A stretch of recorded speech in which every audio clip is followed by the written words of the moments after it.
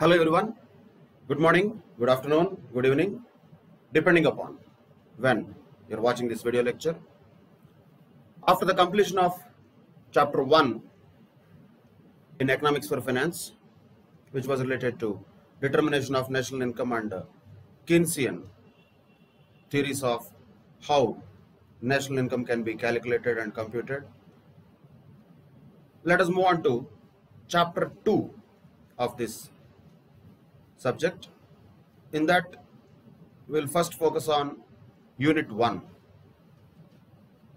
This chapter 2 at a broader level can be called as public finance, which is one of the very important aspects, particularly for those who are administrators and running the government, say from civil servants point of view, it is obviously one of the very important aspects for them to know definitely. But still even for chartered accountants and CS students like you we should understand various aspects of public finance and what are the kinds of measures and functions that government should take in any particular economy. So this uh, public finance chapter 2 has uh, four units and in which today we'll focus on the first unit which is basically nothing but introduction to the other three units in fact. And uh, the understanding of unit 1 will basically act like a foundation for the understanding of the similar concepts in the coming units of the same chapter. So that is why we can call this as an overview of the fiscal functions. And whenever we say the word fiscal we are talking about government. And whenever we say public finance we are talking about once again government. Public finance is not that public are going to take finance from somebody else. Not in that sense. Public means government. Naturally we are looking at a kind of democracy wherein public and government both are same. Government is elected by the people.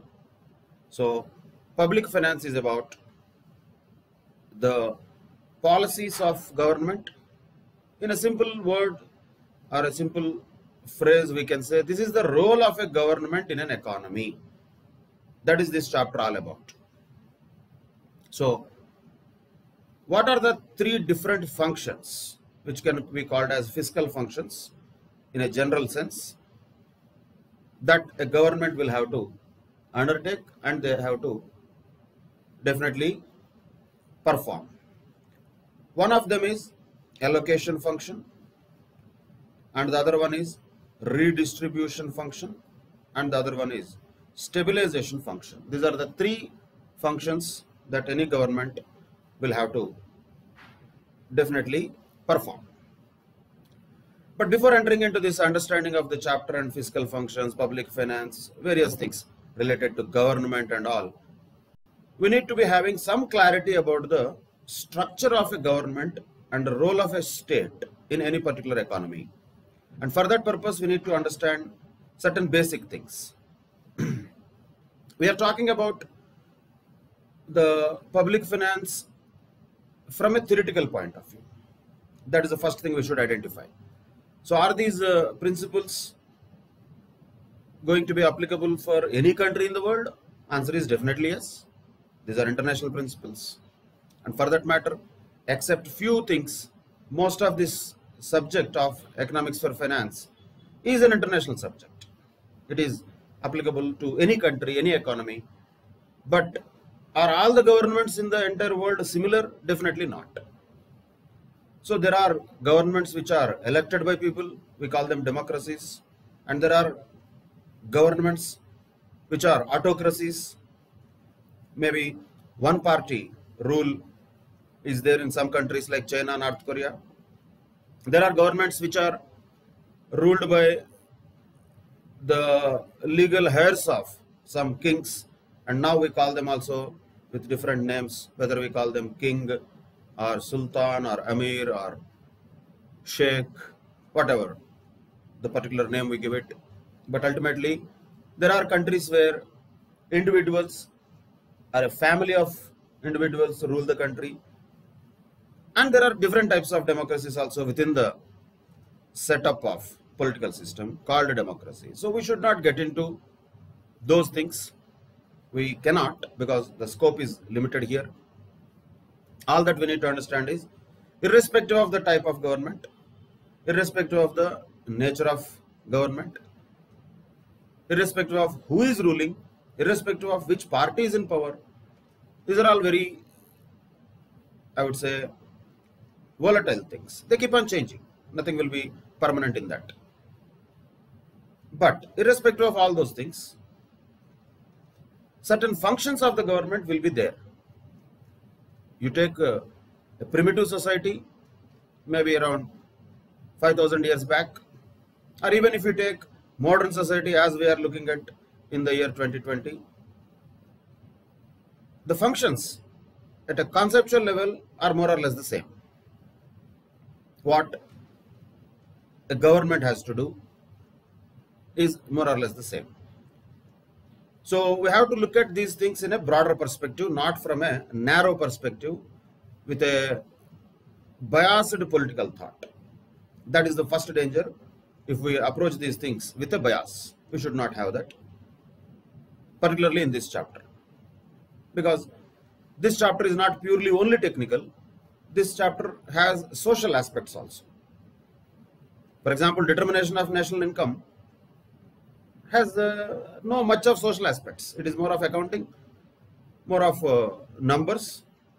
And uh, yes, of course, one of the limitations of national income itself is that it ignores social aspects. It doesn't care.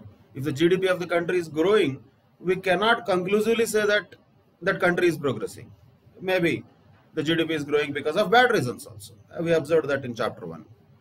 So that was purely about numbers. But this one, the fiscal functions or public finance, when we talk about government, government cannot be apolitical. Irrespective of the type of government, there will be some politics behind it. Whichever the type of government it might be, anywhere in the world. So, the things that we are going to discuss are not apolitical. They are political. Definitely there are things which different political organizations will have different perspectives and different views. Some people support, some people may not support. But my point is, as students of economics, we should not get into such type of debate at this level. We can definitely, yes, later.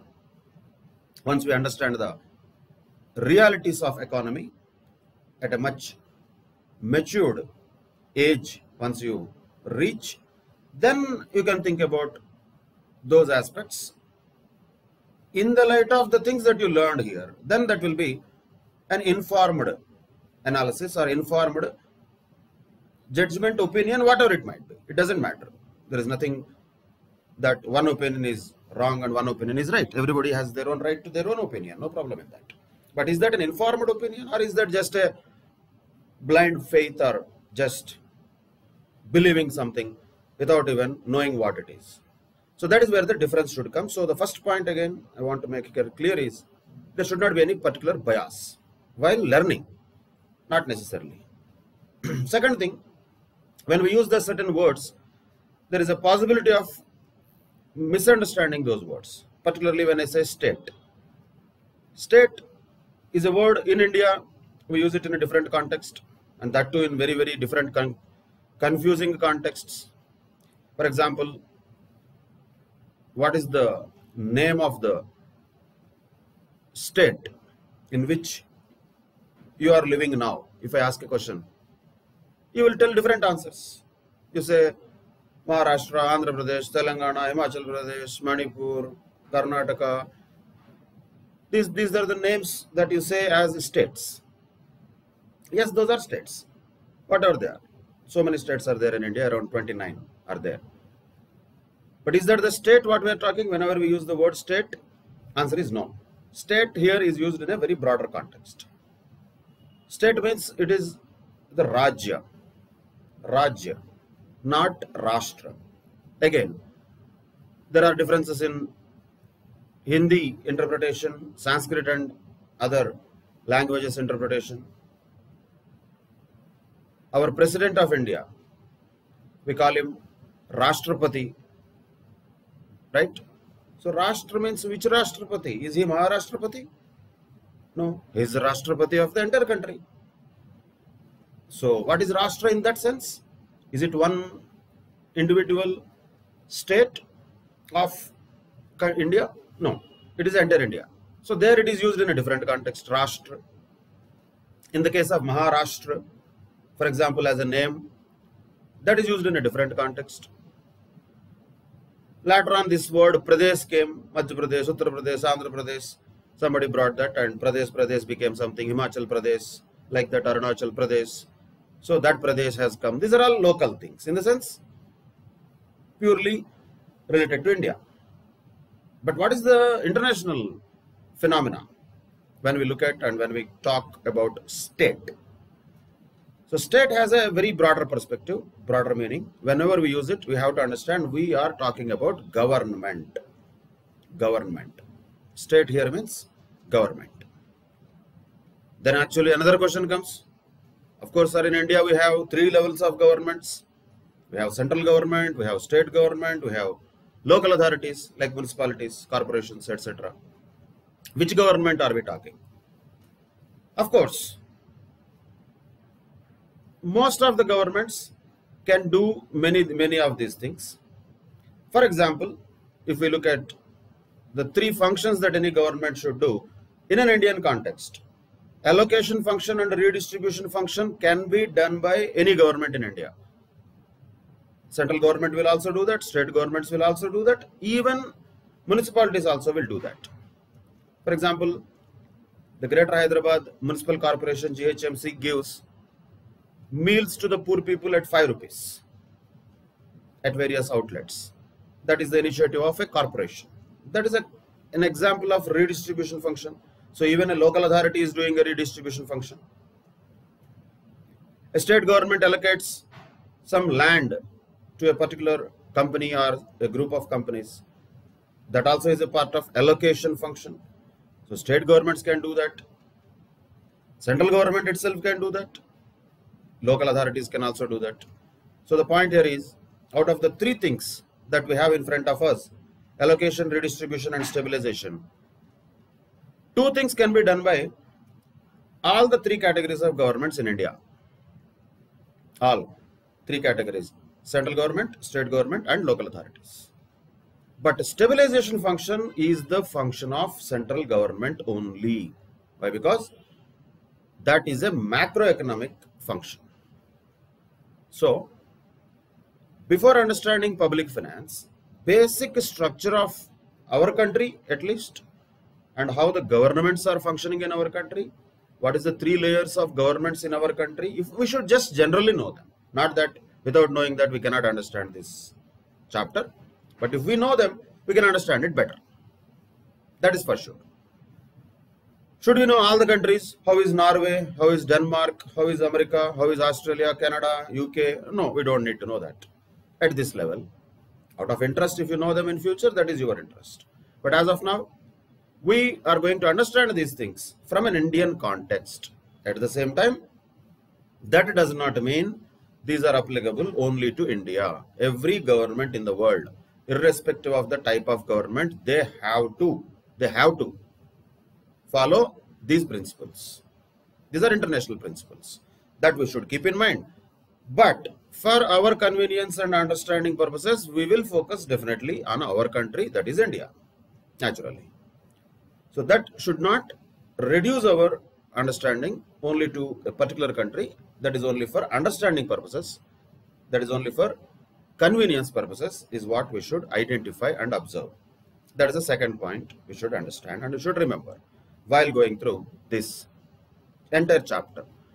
So first point is no bias no political inclinations or judgments not required no subjectivity. We have to learn this objectively as much objectively as possible then second we should understand some of the basic things related to government and structure and naturally because we are focusing on India, we are going to take India as an example that does not in any way mean these are applicable only to India. These are international principles. That is the second point. And as I told earlier in the introductory session to the EFF, one of the very important things that more particularly so applies to this chapter is facts. Facts are facts. We cannot say facts are not facts. Of course, facts can be interpreted in different ways. They can be presented in different ways. They can be analyzed in different ways. That is a different story. But facts are facts. We cannot be turning blind eye to the facts. So when we look at some of the facts, whenever we look at, that is only for the purpose of understanding the principles. Not that those facts are presented for showing a particular perspective or a direction. So, whenever there is a an opinion, let us say redistribution function, there can be a discussion on that number of days. Again, if you bring 100 top economists also, all of them will not agree on the way a government should actually do this redistribution function. Some people will say correct, some people will say wrong, some people will say government is doing fantastic, some people will say government is utter failure. All the people will be there. So that is all opinion. Opinion can be done, opinion can be formed at a later stage. Now our job is only to understand the theory of public finance, theory of public finance. That is where our focus should be. So that is where our concentration should be, not beyond this theory of public finance. Of course, that does not mean I will not take examples. I will take examples. That does not mean I will not have an opinion. I will have an opinion. Again, that does not mean your opinion should match with my opinion. So, my opinion has no value as your opinion also has no value while learning this. While learning this, we have to keep our opinions and other things aside. What is fact? What has happened? What is happening? What is the role of the government in an economy has to be understood very objectively is the important point to be noted. And state here means whenever I use it, if at all we use it, that means in the context of government we are using. So different names are used in different contexts. So we have to be very carefully observing that. Because if you observe this, everything has its own uh, contradiction. We, we are calling it as public finance, which is good. There is no problem with this. This is a fantastic thing, public finance. Here we are talking about fiscal functions. Why only fiscal functions? Fiscal functions means, is it only fiscal functions? No. Again, in the in the stabilization function, there will be fiscal policies of the government also and there will be monetary policies of RBI also. Why are we not talking about them here? We cannot say that. We are just giving a general idea about it. Fiscal in general means government. Government's economic policies, we can say, are the fiscal policies or fiscal functions of a government. And what are the three functions at a broader level? Allocation, redistribution and stabilization. Of course, we will go through them in a very detailed manner in the latter units. But when we understand them in a nutshell, at a, at a basic level, then remaining things will be only just a deep dive into the words which are there in front of us. Let us start with why first of all there is a requirement of a government. Why should there be a government? That is a big philosophical question. Some people may say we don't need a government. Some people may say there is no need of a state. Who is one person to rule over the others? Somebody will say that you cannot go out and we have to oblige that. Why? What is the what is the power of that person to stop us from going out? Like that people argue. I mean, end of the day, everybody is born equal. All are human beings. Why one person or one one uh, few people have more power than the others? So there is government. There is somebody who is at the top of the affairs. Why is that required? That is a big discussion. If we go into the social and anthropological aspects of it, that will go into a much bigger discussion and debate. Let us not go into that. Purely from economics point of view, purely from economics point of view, there is a basic economic problem in any society. You take a Stone Age people who were there in maybe 5000, 6000 years back, or even now, this problem is same. the extent may vary. What are the, what are the contents with which this problem is manifesting itself will vary, but problem is problem. What is this basic economic problem? That is scarcity. Scarcity is the biggest problem. That is the big economic problem. Again, we are not going into the social or other things. Economic problem is scarcity. Why is it arising? It is arising from the fact that resources available to any society, any means any, resources available to any society cannot produce all the economic goods and services that its members desire to have. So if at all you remember the foundation level economics, then the economics itself will start with that. Wants are unlimited, but resources are limited. How to match them is the biggest problem of economics. That is the basic economic problem of any society because the members of the society desire to have something but the society is not having the capability to produce all those economic goods and services what the society or members of the society desire to have that is the problem of scarcity and that is a basic problem which is prevalent in any society irrespective of the income levels irrespective of the development irrespective of the other aspects or political or social things of any society. This is common. Once again, what is scarce? That could be different. Maybe in one country, water may be scarce, natural resource wise. Maybe in another country, food may be scarce. Maybe in another country, power may be scarce, electricity may be scarce. Maybe in another country, all these things are there. But certain services are scarce, education is scarce, health services are scarce.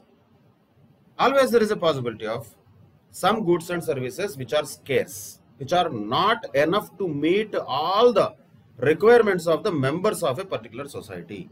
There is no society in the world where all the members of the society's wants and desires have been fulfilled. That is just impossible. If at all that happens, it can only happen in dreams and some of the fiction movies. Otherwise, it is not possible. So, scarcity is a reality that is there. So what should be the answer for that problem? There is a problem. So problem is there. What should be the answer for that? That is the answer that economics tries to find. Actually, economics will not have any ready-made solutions for that problem. Economics will try to find that. So an economic system should exist. If at all, there is no economic system. In other words, at least a state or, a, or some kind of government which is having a control on the economy, if it is not there, if such economic system is not there, then the answer to this uh, problem of scarcity will be difficult to find. So first of all, from an economics point of view, we have to acknowledge that from an economics point of view, once again, not from nature, society or politics point of view. That could be completely different argument at least from economics point of view, there should be some system no, which will try to answer the problem of scarcity, which will try to answer basic questions that any society will have. What are the basic questions? What to produce, how to produce, for whom to produce, and how much resources should be set apart. That means how much should be saved or provided for future growth these are the basic questions. Any country, any economy, any society will have. Who will answer them? If the members of the society themselves will decide everything, what to produce also they will decide, how to produce also they will decide, for whom to produce also. Everything they will decide according to their whims and fancies, then there will be anarchy. It's okay. That also is possible to exist. That is also possible to survive. But will it survive for long? Is there a possibility of continuity? That is a difficult thing. Is it sustainable? Simple point. If there is no economic system and people are doing as and how they wish. If that is a situation, then is that going to work? Will that be a sustainable system? Not having a system is not a system. So, point is, in order to give answers to these basic fundamental questions of any society, of what to produce, how to produce, and for whom to produce, and also how much to be provided for future growth, answers have to be given not completely by the society and the members of the society itself, but by some group of people who are top of the society, who are leading that society. That is what we are calling it as state from an economics point of view. Once again, not from social, political, or other anthropological point of view. Those are all different things. From an economics point of view, there should be a system which is on top of the entire society, which will have its own control on the system, which will have its own eye, and which will have its own grip on what is happening, what affairs are happening in that society. If for us, society means let us take country as a society. So, what is happening in this country? Should it be left to the people? 100%? It would be like good. I mean, if you just think about it, it feels like too much of freedom. Very good. Liberty is fantastic. But is it like possible to sustain that much liberty? Not going to be possible. So, state has its role, especially when we look at the economic system point of view. State also has, government also has its role to play in at least directing and controlling the overall performance of the economy. So, we have to agree on one thing first to start with when we say public finance. We have to agree on one thing that, boss, there is a requirement of a government. We cannot be anarchists. If we start with anarchism, why, why who is government to tell me?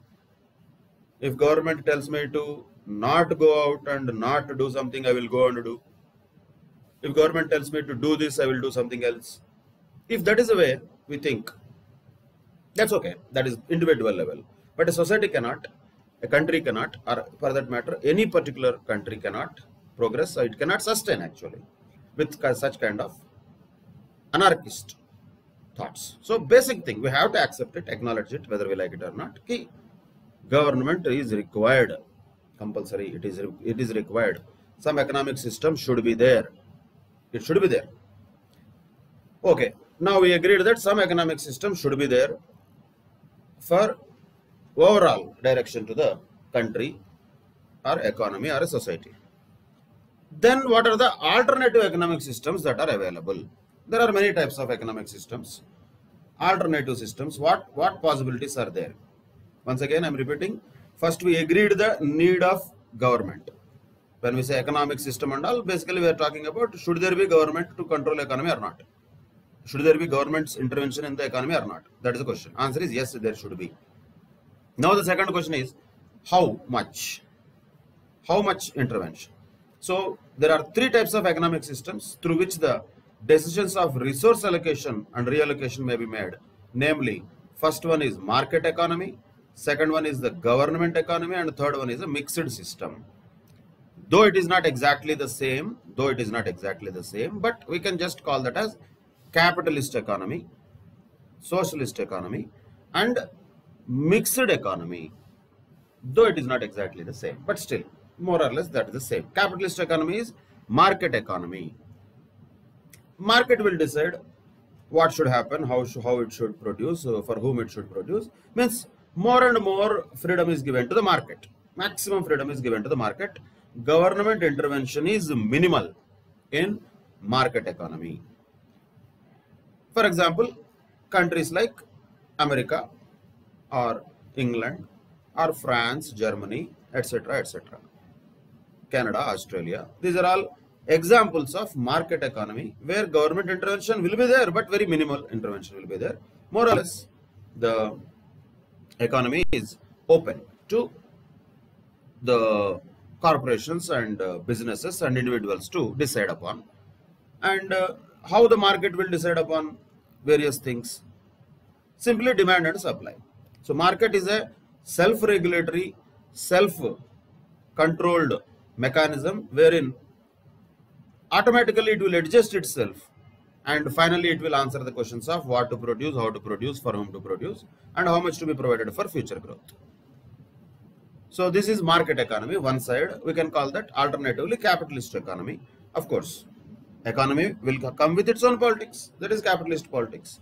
Mostly, most of the general capitalistic or market economic systems are in general, in general, supported by a democratic government. In general, not necessary. But in general, democracy and capitalism market economy are similar and they go hand in hand. Once again, you cannot draw conclusions and analogies from this. In general, that's what happens. But what about the second category or other type of economic system? Government controlled economy. We can call that as a command economy. Command economy or a socialist economy. Government controlled economy, which means most of the resource allocation and reallocation will be done by government only. Market will not have much of the say. So in the in the case of market economy, government will not have much of intervention into the economy. In case of command economy or government economy, market will not have much of interference or influence on the economy. Rather, government will have more influence. For example, though again not 100%, not 100% clearly 100% command economy, still, for example, we can take China as a government controlled economy. Definitely, when compared with the free markets like the capitalist economies of UK, USA, etc., China definitely is more government controlled economy, no doubt about it. Even now, many big corporations of, of China are owned by government only, even now.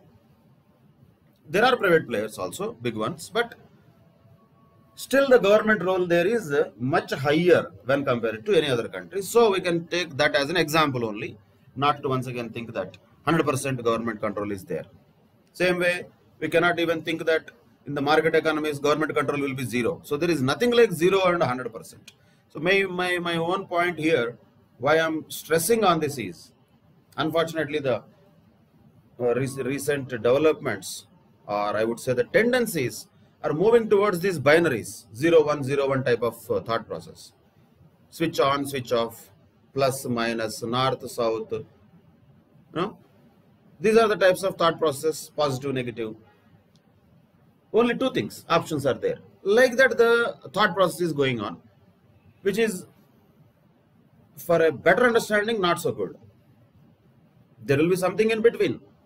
There will not be 100% market economy also. There will not be 100% command economy also. Both are not possible. But yes, to some extent, the capitalist economies are more leaving the decisions to the market. And communist economies or command economies or socialist economies or government economies are having control of the economy with the state only. That is government only. But not 100% once again. So there is nothing called 100% or 0% naturally everything will be somewhere in between. And there is a mixed system. And as we have been taught since childhood india is a mixed economy. We have both public sector also private sector also. Though we are moving towards market economy much faster after 1991 liberalization globalization and privatization policies. Prior to that we were more little bit inclined towards uh, command economy little bit. And then from 1991 onwards we are moving towards market economy. It is a journey. Nobody will reach that destination even america also did not reach that. That's a different story. So theoretically speaking yes india is a mixed economy but these are the three possibilities. Any economy has to choose. Either leave it entirely to the market not completely correct. Leave it entirely to government that is also not completely correct. Have a mixed system yes some are little bit market little bit government In fact, the reality is every country in the world is a mixed economy only. We were told like that India is a mixed system. All others are have chosen something like that. Not practically. But only point is mixed. Mixed means how much mixed? Is it like 80% uh, capitalism and 20% uh, socialism? Or is it 50-50? Or is it 30-70? What is that mixture? That will change. That definitely will change. Even we look at uh, some of the so-called capitalist countries. Capitalist countries means what? They are supposed to leave everything to the market. Government should not interfere, ideally speaking. But if you observe the realities, most of the capitalist countries, except America, has a proper public health care system. Almost for everybody, the medical care is free. Government provides that. Why? Why, why did not government leave it to market? It is all capitalist economies, no? Those are all market economies, no? No, they did not. That is their choice. So the point is, there is nothing like 100% market economy applicable for all segments and all sectors of a country or a society. Not possible, not correct also. Every country will take their own decisions according to their own resources and their own political system which the people have elected or they have chosen themselves. So the point is, everything is a mixed system actually, but in which areas it is? More inclined towards state control and in which areas it is more left to the market is only a matter of percentage proportion differences. That's all. That is one thing we have to identify while understanding this public finance chapter. But still basic point to note here is there is a requirement of government compulsory. There should be an economic system. You cannot just leave it to the market. 100% no that is not correct. But at the same time how much the interference of government will be there in the market that that changes from country to country economy to economy. That is not what we are going into because once we go into that that becomes political. That is not what we are going into. Only we are observing and acknowledging that scarcity is there. There are basic questions to be answered for answering those questions we need an economic system and there are three possible systems in fact i would say there is only one possible system practically that is mixed system percentage of mixture will change from country to country. That is the reality of how government's role is there in any economy. This was more explained and uh, populated by Richard Musgrave and he wrote a book called The Theory of Public Finance in which Richard Musgrave has given three branch taxonomy of the role of the government in a market economy. So what are the three branch things that Richard Musgrave has introduced in his book, The Theory of Public Finance, as we know already. One is resource allocation. There are three functions broadly. Don't think that government has only three functions, that's all. Daily they will wake up, they do three functions and sleep. Not like that. This is from an economics point of view only we are looking at. Government will have so many other things to do. But from an economic economy point of view, what the government is supposed to do? Majorly government is supposed to do this only actually speaking. Remaining things will happen automatically more or less on an administrative level. But at a strategic level, the decisions and uh, directions and functions of the government will be definitely towards three things. What are the three things? One is allocation, one is redistribution, the other one is stabilization. Allocation of what? Allocation of resources, and what it will bring in that brings in efficiency why because if the government does not interfere in this resource allocation market usually becomes inefficient that is the reality that history has shown just for understanding purposes prior to the second world war nobody knew all these things this three branch taxonomy what a government should do and all of course governments, state, leader, king, whatever you call, whatever the name you give, they have been doing some functions, including economic functions, even from centuries and millenniums back also. But, but what was the proper role of the government? What is the role of the government exactly when it comes to economy? That was not 100% perfectly defined, though there were definitions given by Chanakya, we popularly call as Kautilya. Originally, his name is uh, Vishnugupta. But whatever, from India, there was a Arthashastra book in which Chanakya has clearly written about the role of a king in an economy, a role of a state in the economy. But again, that was more of a political book than an economy book. Though the name is Arthashastra, uh, the contents are more political than economics. If we look at them now, but if you understand both are inseparable, then of course, yes, it is both. So from the modern world point of view, after the industrial revolution happened in uh, 18th century, in Europe especially, production has increased heavily from the old outdated feudal systems of kings and others. New system of democracy, capitalism has emerged. New countries were found, like America. New places were invaded like India, so much of wealth was created throughout the world after the Industrial Revolution heavily. And of course, mostly that wealth was all rooting to few countries like UK to begin with, then some of the other European countries like France, Germany, etc., Spain, etc. But the point is, after the Industrial Revolution and the rise of capitalism, market economists have understood the power of market, the power of free market and the power of less intervention by government, how the performance of the markets can be so heavily improved. Earlier, king was uh, too much of involved in any particular aspect of a country. Now there was not much of interference. So inventions improved. Scientists were doing their own research. They invented new things. They started new factories. Lot of growth, development was happening. It's a different story by looting the resources from other poor countries like India, China and other countries. That's okay. That is one part separate from this uh, economic discussion. But still, there was a lot of wealth created and development happened in uh, Europe and uh, other countries like America. But the role of government was uh, reduced, reduced, reduced further and further.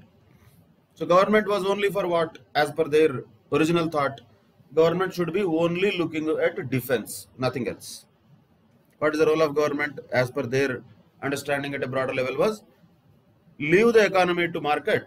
Government should restrict itself only and only to what defense, nothing else. Only military will be there with the government. Police, military, that's all. Law and order within the country, that's what we call internal affairs. In India, we call it home affairs. And external affairs about other countries and our country in the form of defense. That's all. This is what they thought. And they left it to the market. Government was very busy with uh, defense only. It was very busy with wars. All governments were fighting with uh, one another. Too many wars happened. First World War, Second World War. Of course, they have economic reasons also to capture the new markets and sell their goods. But in spite of that, governments were busy in that. What happened to the economy then? Economy went to a big problem and they have observed market as it is does not have that much of power to control itself and bring itself out of the problem or crisis whenever such crisis occurs. Market has yes some self-correcting mechanism no doubt but that self-correction or self-correcting mechanism is not all powerful that it will be coming to the rescue of it every time. Not possible. And that was proven with the facts. So many depressions happened and we see that between first world war and second world war there was a great depression in the entire world particularly in uh, USA, if you look at even UK also, London, very bad situation. Even the rich people, upper middle class people who were having good jobs earlier, those people were almost onto the roads. You can see in some of the old black and white movies what were the situation and what was the scenario that time. People were just craving, uh, craving for only one, one, one loaf of bread. They didn't have food also. Huge problem happened. The Great Depression has, actually speaking, shattered the entire misconceptions about the market economy, which were there earlier. Of course, that resulted in another war. That's a different story. Along with war, there was some growth. Wars also will uh, bring GDP up, actually, and that happened to some countries. But in spite of all these other political and geopolitical and other big things, keeping them apart, what actually happened after World War II is most of these capitalist countries or market economy countries identified and observed and agreed themselves that Baba, you cannot leave it to entirely market. Market is very dangerous. In the sense, it's a jungle type uh, scenario. Only the powerful will remain and uh, powerful will eat up the, all the small, small fish. Big fish will eat small fish and small fish will the, eat the smaller fish. And that is what is Matsya Nyaya, what is popularly called in Indian mythology. Matsya Nyaya is market Nyaya. That is what market is about. If you leave it like that, only big fish will remain. And then some of us may be thinking, okay, let it be so what. Baba, if you eat all the small fish, big fish will remain, agreed. Then after that, what the big fish will eat? What it will eat? It will also starve and die. That means end of the day, there is no fish. Means all the people will be gone. If a proper intervention by the government is not there, if we leave it to the market, if we leave it to the nature in the name of freedom or in the name of liberty or in the name of anything else, whatever we call it, that might create a chaos. And that is not good for even big fish, actually speaking. Small fish anyway will be eaten. Whether they are bitten, whether they are eaten, that is their fate. Always there will be small fish which will have problems, irrespective of the type of economy and irrespective of the type of system in which they live. Big fish will be always big. They will be always powerful. Fine. But point is all of them should be there in the system, existing. You cannot wipe out the small fish. You cannot eat out all the small fish today and just sleep well today. So once you wake up tomorrow morning, there are no fish to eat. So that becomes a big problem. They identified that. They understood this market thing is a very dangerous thing. If you leave it like that, it is going to eat the entire small fish and all the poor people and downtrodden people will either die or they will revolt. One of them will happen. As happened in uh, some of the countries that then, like Russia and later in China, great revolutions happened those days. When the poor and the downtrodden people have revolted against the upper segments of the society, whoever they are. And you cannot avoid that until and unless you make some compromises on your market economic principles, saying that I will not interfere into the market. I will only look at police defense, that's all. And I, nothing else is my job. If that is the attitude of a government, any government, that creates problems. History is the proof of that. History is the proof of that. And uh, this problem was faced by many developed countries actually. And then they realized no, no, no, this is not correct. We need to have some kind of fairness in the in the society. We cannot leave it uh, to the jungle raj. Uh, we cannot say it is a nature. It is nature, right? Uh, it is a nature that a lion eats a deer. So why, why should anybody interfere in that? Let it be. That, that's an argument. Theoretically, okay. But practically what happens because of that is a problem. We are not that. We are not, you know, just animals. We are human beings we built all these societies, governments, everything. And in that, there should be some bit of justice and fairness. They identified it. So they identified the importance of redistribution also. So if left to the market, market will not be efficient 100% by itself. So government has to interfere and do resource allocation to increase the efficiency. It should.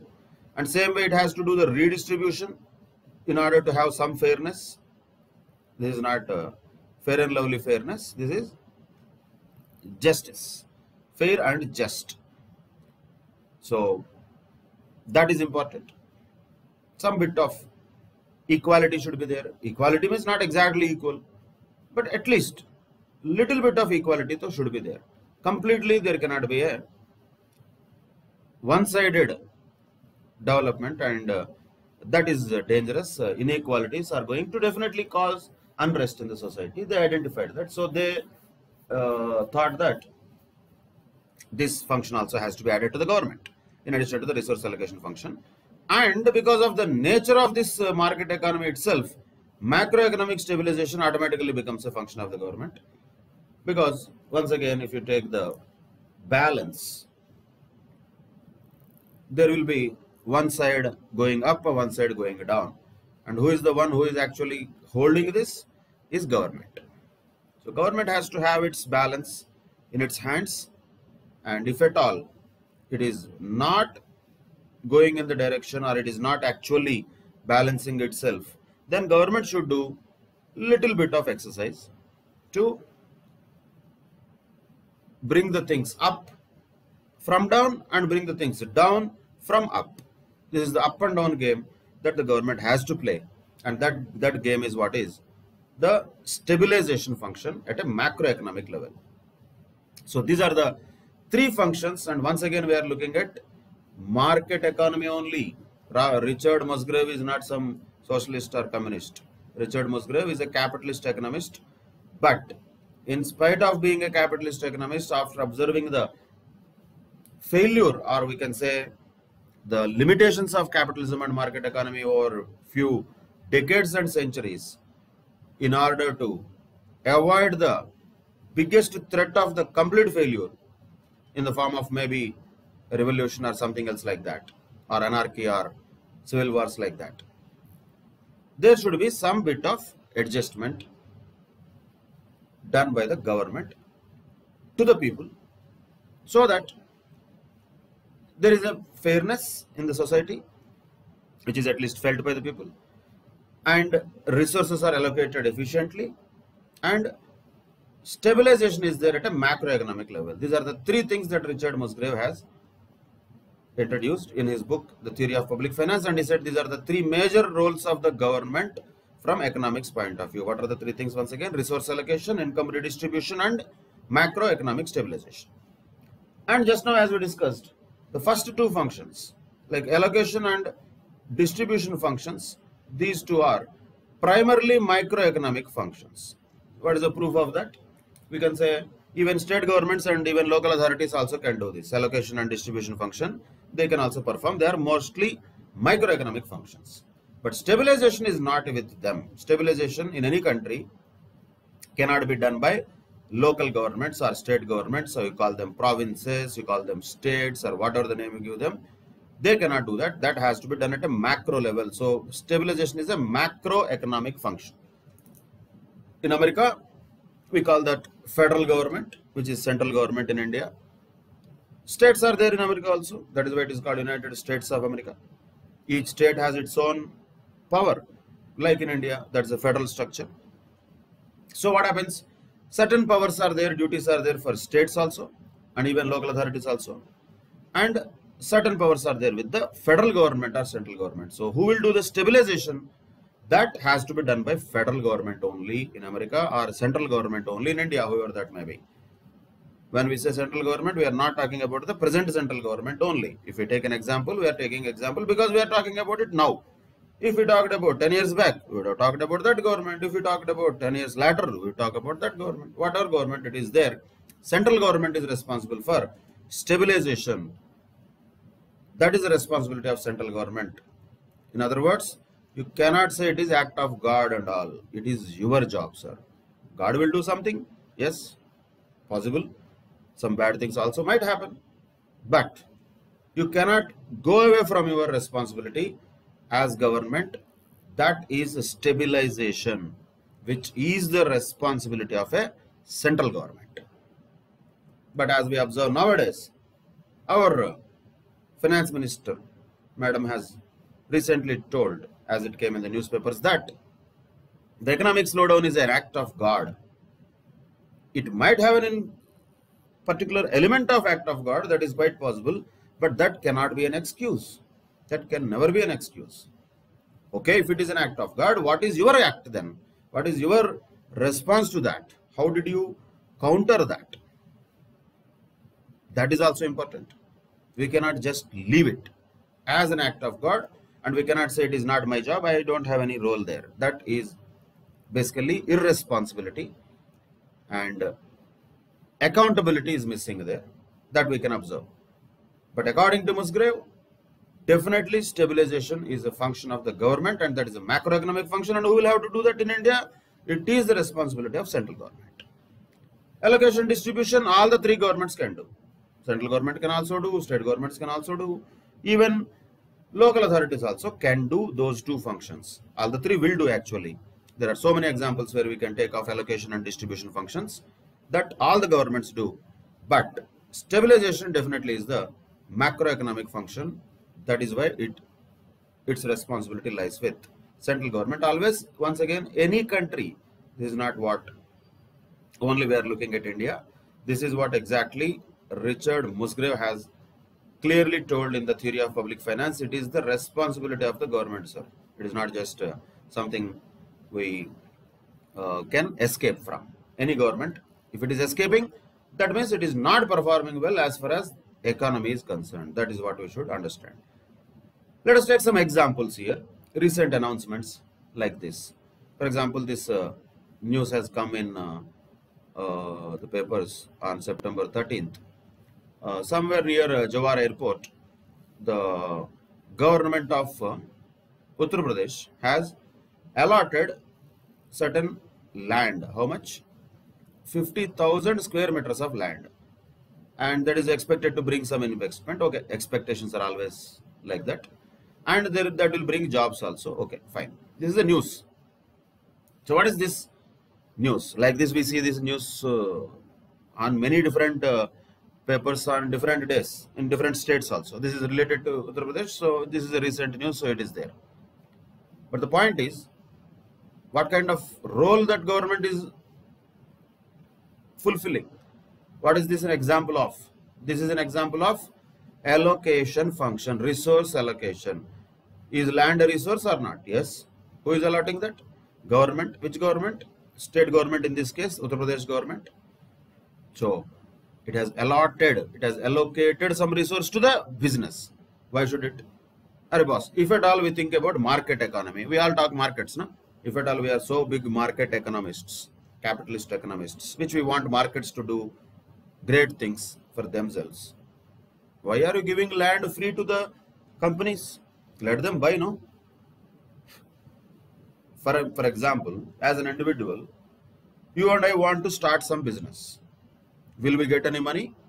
Or will we get any land from the government? Any government will give us something like that. Okay, boss, take this five acres of land and do some business like that. They will tell us, no, they will not give us. But four private companies were allotted this land. Why? That question can come. But the point is, why it was allotted? It was allotted with a hope that these companies will bring some investment and that might create jobs. That is the hope of the government with which this allotment has been done. Logically, if you think about only market economy, government should not give any kind of such things to the businesses. Let the businesses buy them and start their uh, operations. Why should government give them? But that would be a wrong logic. Why? Because if that is the case, if it is left to the market, these things may be reducing the growth rate. If the government is giving such kind of resource support to the businesses, if it is a business friendly government, let us say, any government, it will give resources. It will try to give some resources to the business so that there will be growth, development, employment, etc. That is the idea, theoretically speaking, at least that is the idea. So many governments you would have observed, irrespective of the state it is, all states within India have given thousands of acres of land to many private companies, many many multinational organizations with what idea? Or at least what public idea or what is the announced idea? That there will be a flow of investments and there will be job generation or employment generation And what is the government doing by doing by by giving such land or other resources like that? It is doing a resource allocation. Should it do it? Yes, it should do it. As long as there is no corruption involved in that. As long as there is no private gain that few individuals are trying to get. As long as that is there, if it is a genuine allocation, any allocation by government to the business from an economy point of view is welcome and that is definitely one of the functions of the government as per Richard Musgrave also that is resource allocation. That is an example of it recently. Now let us look at another data, another report from Wikipedia which is there online. Some of the points in that is income inequality and wealth inequality in India. If you just type it, you can get it. Don't need to, already it is there. So what is income inequality? There is unequal distribution of wealth and income among the citizens. And wealth distribution is also very uneven in India. Look at the top 1% of the Indians, they are owning almost 59% of the wealth. And richest 10% are owning almost 81% of the wealth. And this trend is going in the upward direction every year. Means what? Rich is becoming richer and richer. Poor is becoming poorer and poorer. At a faster rate, this inequalities are improving. Why is that? Why natural? Because it is market economy. Whenever we say market economy, automatically the market economy's limitation, one of the limitations is that it will bring inequalities. That is natural. If you want to eat a tamarind and say that I want it to be sweet, always, not possible. Tamarind uh, will not be sweet, it will be sour only. But in order to make it sweet, maybe you need to add some sugar to that, maybe you add some jaggery to that, maybe have a coat of uh, jaggery around that, then you can make it sweet. And who will have to add that? Government has to add that. You cannot cry about tamarind being sour. Same way you cannot say inequalities are there, inequalities are there. Inequalities will be there. That is the basic nature. We should have, ideally.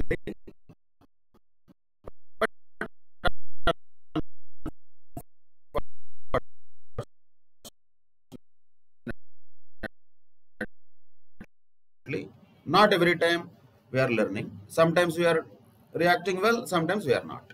Though both will be there. But what is ideal? Ideal is definitely this is very alarming. Income distribution, wealth distribution has to be at least reasonable. Nobody is saying that everybody will have equal share in the country. No. But this much of disparity is not good, which is the reality of India now. Half of the Indians, 50% of the Indians only own 2.5% of the wealth of our country. Poorest of the poor, we can say. Middle class or upper middle class, whatever the name you give them, 30% of them are owning only 11.1% of the wealth of the country, and the only top 20% are owning almost 86.4% of the wealth of our country. Too much of inequality. Even countries like America also did not does not have that much inequality. The core capitalist countries also do not have that much inequality, but we are having it. That is a negative sign of market economy. So that the point is not about should we go with market economy or not. We we wanted to go with that in 1991. Okay, we went with that, no problem. Now we cannot reverse it completely. Already we have decided to take the tamarind. And now we cannot create it sour. We need to have a sugar coat or a jaggery coat on that. That is where the government should do something to reduce these inequalities. What function it will do for that? That is called as the redistribution function. To bring some fairness in the society or economy, income redistribution has to be done by government. Is it not doing? Of course it will do. It has to do, it is doing. Question is, is it enough or not? That's a debatable issue. So resource allocation the governments will do. Yes, this is an example of that. Income redistribution the governments have to do. This is the reason for that, which is reality in front of us. And what are the examples of redistribution, at least at a central government level? I was just going through some of the schemes. Actually, those are more than 45, 50 schemes. I could not take all of them. So, so some of them only I have just written here. No need to re remember any of this, just for general understanding. How many schemes the central government itself has? So many of them. Ujjwala Yojana, Matrutva Vandana Yojana, Kaushal Vikas Yojana, Bima Yojana, Jan Dhan Yojana, Gramin Awas Yojana, Gramin Sadak Yojana. So many of them. Digital India, Startup India, Stand Up India, Manrega, that is Mahatma Gandhi National Rural Employment Guarantee Act, Inspire, Ayushman Bharat, Atal Pension Yojana, Amrut, Midday Meal Scheme, which is very big scheme throughout the India for kids um, who are in uh, who are studying in the government schools. In the afternoon lunch, uh, government will provide. Why all these schemes? Why should government do this? Why? Because it is its job, it is its duty, it is its function. They cannot say, oh, we are doing a great job, we are doing a fantastic favor to you. Nobody is doing any Hassan. That is their job. That is why they are government. If the government says it is not my job and I am doing an extra thing for you, then that is not good. Government has a responsibility to do this. So it is doing a good job. To whatever extent it is done, it is definitely a good job. But is it enough or not? That is a different story. If this was enough, this much of disparities will not be there. But yes, if this is also not done, imagine government does not do anything. Just like that, it will be only focusing on police defense. That's all. Imagine, imagine. As per core market economist, core capitalist economists, that's what government is supposed to do. A lot of people are there who support that thought. Imagine if that's what government actually adopts and says that, Baba, I don't care about economy and all. My job is only defense and police. Enough. Internal affairs, external affairs. I will only focus on that. Remaining things I don't care. Let the market decide whatever it wants to do. If the government does like that without interfering or without intervening into the market, then these disparities will go further up. That is a problem. So at least this much disparities are there in spite of those many efforts which are taken by central government, state governments. You all know that how many schemes are there in many, many state governments. List is endless. That's what we listen to these uh, many economists also. State governments are all giving freebies to the people for electoral benefits and political benefits. Yes, that, that is debatable. Some people say it is good, some people say it is bad. But the point is, are they giving or not? Yes, they are giving. As what function they are giving? What is their duty that they are fulfilling? They are fulfilling their duty only. They are not giving, nobody is giving any one rupee from their pocket. We have elected them. We have asked them to collect money from ourselves in the form of taxes and spend that money on us only. But the point is, the one who is giving the tax and the one who is getting the benefit of the tax money will not be same. If at all they are same, we don't need taxes now. Why should I give to government and get the benefit back? It's, it's a ridiculous thought. A lot of times people say, taxpayer, I'm a taxpayer. I'm not getting benefit from the government. If that is the case, why should we need a government? At least from economy point of view. Why should you give one money money uh, to the government on one hand and take it back on another hand? That is not the deal, Baba. That is not the deal. Why government is there? Why it has taxes? Why it collects taxes? And why it spends on all these things, what you call as freebies or yojanas or schemes or whatever you name, call it. Why it is doing it? That is the job of the government. It has to take, redistribute the income from the top, who are earning more, and from them the government will take some money that it will give to the downtrodden, poor, marginalized people in the country. Any government will do that, not just India. Any government is supposed to do that, by the way. That is the role of the government. That is the duty of the government, not some great achievement or Hassan that any government does. So this is an example of redistribution function. And uh, we see so many times uh, these type of things in the newspaper. RBI rate cuts happened see if you look at the RBI rate cuts uh, from 6.25 to 3.35, it has become almost in the past uh, two years. So what is this? Repo rate, reverse repo rate, policy rates are cut sometimes, increased sometimes, kept constant for some time. RBI is deciding all these things. What, what is what is it doing? What circus RBI is doing? Why is it doing all this? That is performing the monetary policy function of stabilization function. That is the third function. Of course, stabilization is the role of government also and central bank also. Government does the stabilization in the form of fiscal policy and RBI does the stabilization in the form of monetary policy. Even in America also, government has its own fiscal policy. Their central bank is called Federal Reserve, popularly called Fed. Fed will take the monetary policy. So there is a monetary policy, fiscal policy. That's a double-edged sword of stabilization function. Stabilization function has to be done by the government only once again. Government and its wing. One of the wings, though ideally it is a little independent wing of government, that is central bank. And government itself will do some kind of actions it will take, some kind of measures it will take, some kind of decisions and policies it will announce. So for example, if you look at this uh, statement or some newspaper announcement, uh, as of now, the economy of the India is uh, 2.7 trillion dollars at the end of financial year 2019, right? And later, there was a growth rate projected by RBI for the financial year 2020 was 6.9. All these things have changed now, actually in 2020, but this is just a, a newspaper advertisement last year. So, what is this point here is government likely to take steps to boost infrastructure investment. Question comes why the government should do that. Second, government is focusing on the specific sector, something like auto industry, even GST relief can be offered to them. Why should the government take such policy? Why auto sector is some very lovable sector to the government? Why is that? The center is also looking at ways to cut red tape. Of course, that is a basic uh, administrative reform.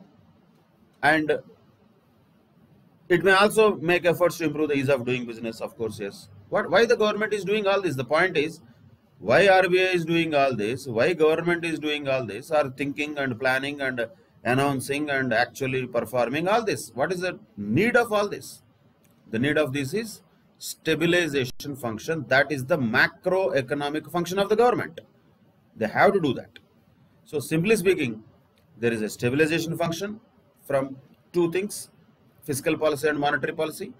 There is a redistribution function in the form of various schemes and all to reduce the income inequalities and wealth inequalities.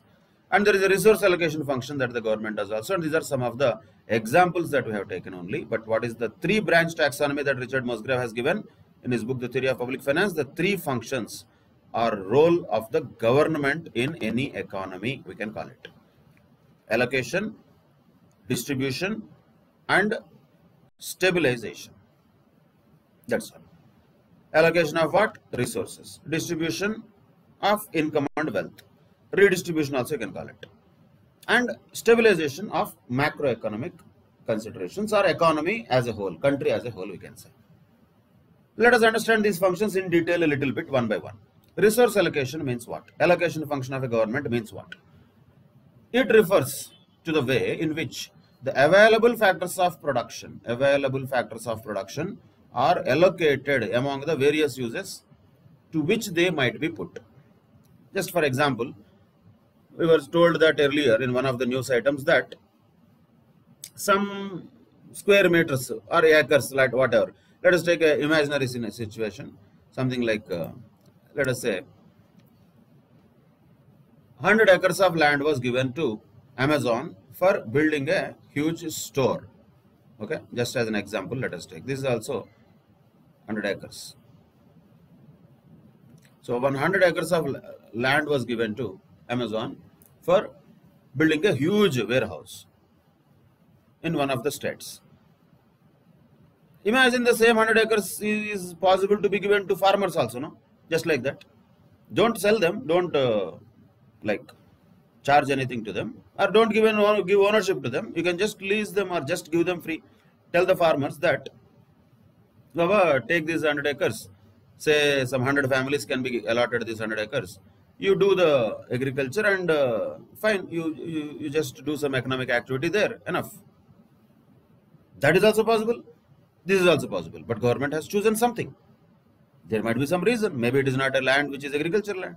Possible. But the point is, government has to decide the resource allocation. Particularly when it comes to resource allocation, as far as the Indian context is concerned, land is the biggest resource. factors of production we know land labor capital organization. Labor government cannot provide at least indian government does not provide that. Chinese government will do that though with its uh, muscle power.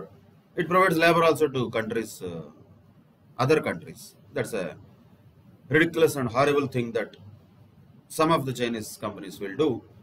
Almost as good as a modern day slavery we can say. Very very pathetic situation. Let us not get into that indian government at least does not provide labor or something like that. It will not allocate something. Labor are free. If they have work they work. If they don't have work they will not work. So that much uh, free market is there in india as far as labor is concerned to some extent though government will have its own controls. But it will not have allocation directly done as far as labor and capital is concerned or even for that matter organization also. Government might not directly do something in india as far as other businesses are concerned. But land definitely it does. Too many instances of land being allocated to many companies we, we see in the newspapers. What is government doing in that is resource allocation simply speaking. Of course don't restrict it uh, to only land allocation. That is one of the examples of resource allocation. That's all so then the question comes why this allocation of resources happens or what is the requirement of that? What is the need of that? Is it really required? Actually it is not required. Because if if there is a perfectly competitive market but that is an if only if there is a perfectly competitive market then there is no need of government intervention. Because the market itself will do very good efficient allocation of resources. It will do that. Efficient allocation of resources it will do. When only in perfectly competitive market. But what is the reality? In reality markets are never perfectly competitive. They are not perfectly competitive. So when this we talk about market economy capitalism that is all theory. Theory wise markets are fantastic self-regulatory competitive all good. Demand supply very good. Theories are good. But reality is what are they perfectly competitive? Not possible. Over a period of time markets tend to become monopolistic. They tend to become more and more monopolistic. Perfect competition does not exist. That is the reality. We can observe that also with practical observation throughout the world. Is it really perfectly competitive thing in the world in the soft drink market? Or only two three players are there who are dominating the entire market? You can think about it. Of course yes there is no perfect competition in that. Only coca-cola pepsi dominate that. Is there a perfect competition of so many players involved in this entire world in uh, let us say media or uh, film industry? Even you take hollywood also? No. Only four or five top companies only will be dominating the entire hollywood. That's all. You take any sector. You take oil sector oil and gas or you take uh, retail sector very few companies. Or even you take something like apparels like shoes. How many top brands are there in the world? Entire world market is divided into three four brand, brands only.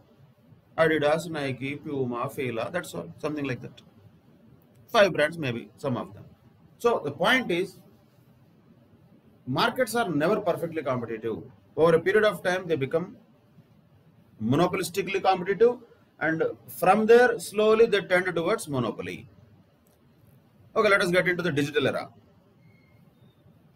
Who is the next biggest competitor to google? There is nobody actually speaking. That much of market power it, it has. That's the problem. That's what happens in open markets.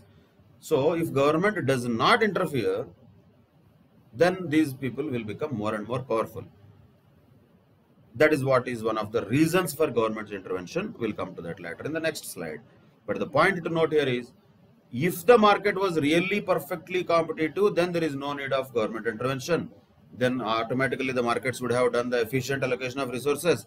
But unfortunate thing is markets are never perfectly competitive. So what happens? Because the markets are never perfectly competitive, because this all market economy, capitalism, idealistic capitalism and all will never happen in reality. What is the reality there? Market failures will happen. will happen, bound to happen. How do we know that? Because they already happened. Before they happened, nobody knew that.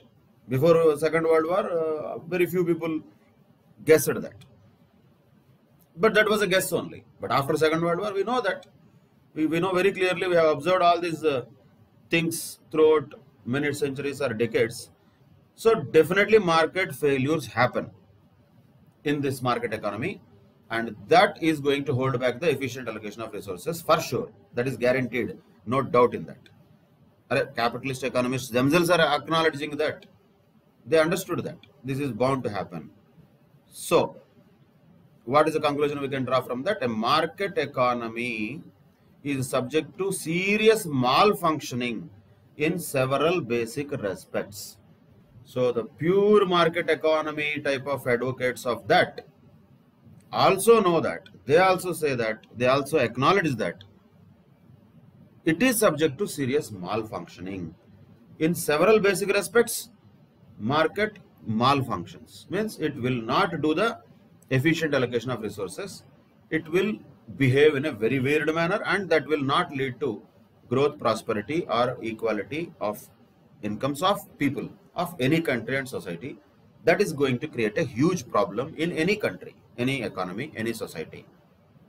When if market is left on itself, it fails. Simply speaking, markets fail.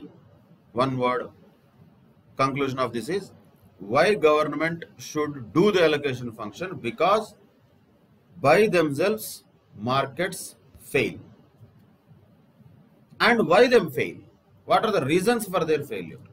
This is what we are going to look at in the next unit of this chapter in detail but just let us understand the broader reasons for market failure. Just now as we discussed competition is always imperfect and monopoly power exists. That is the reality. Theoretically, it may not be the one that is expected from a capitalism, but ultimately it becomes like that. Monopoly power will come. That, that can be called as market power. Then, market fails to provide public goods. We'll understand them in future in the next unit very detailed manner, but generally to understand like good things, health, education and all, markets will not provide that much as much they are supposed to provide they will not.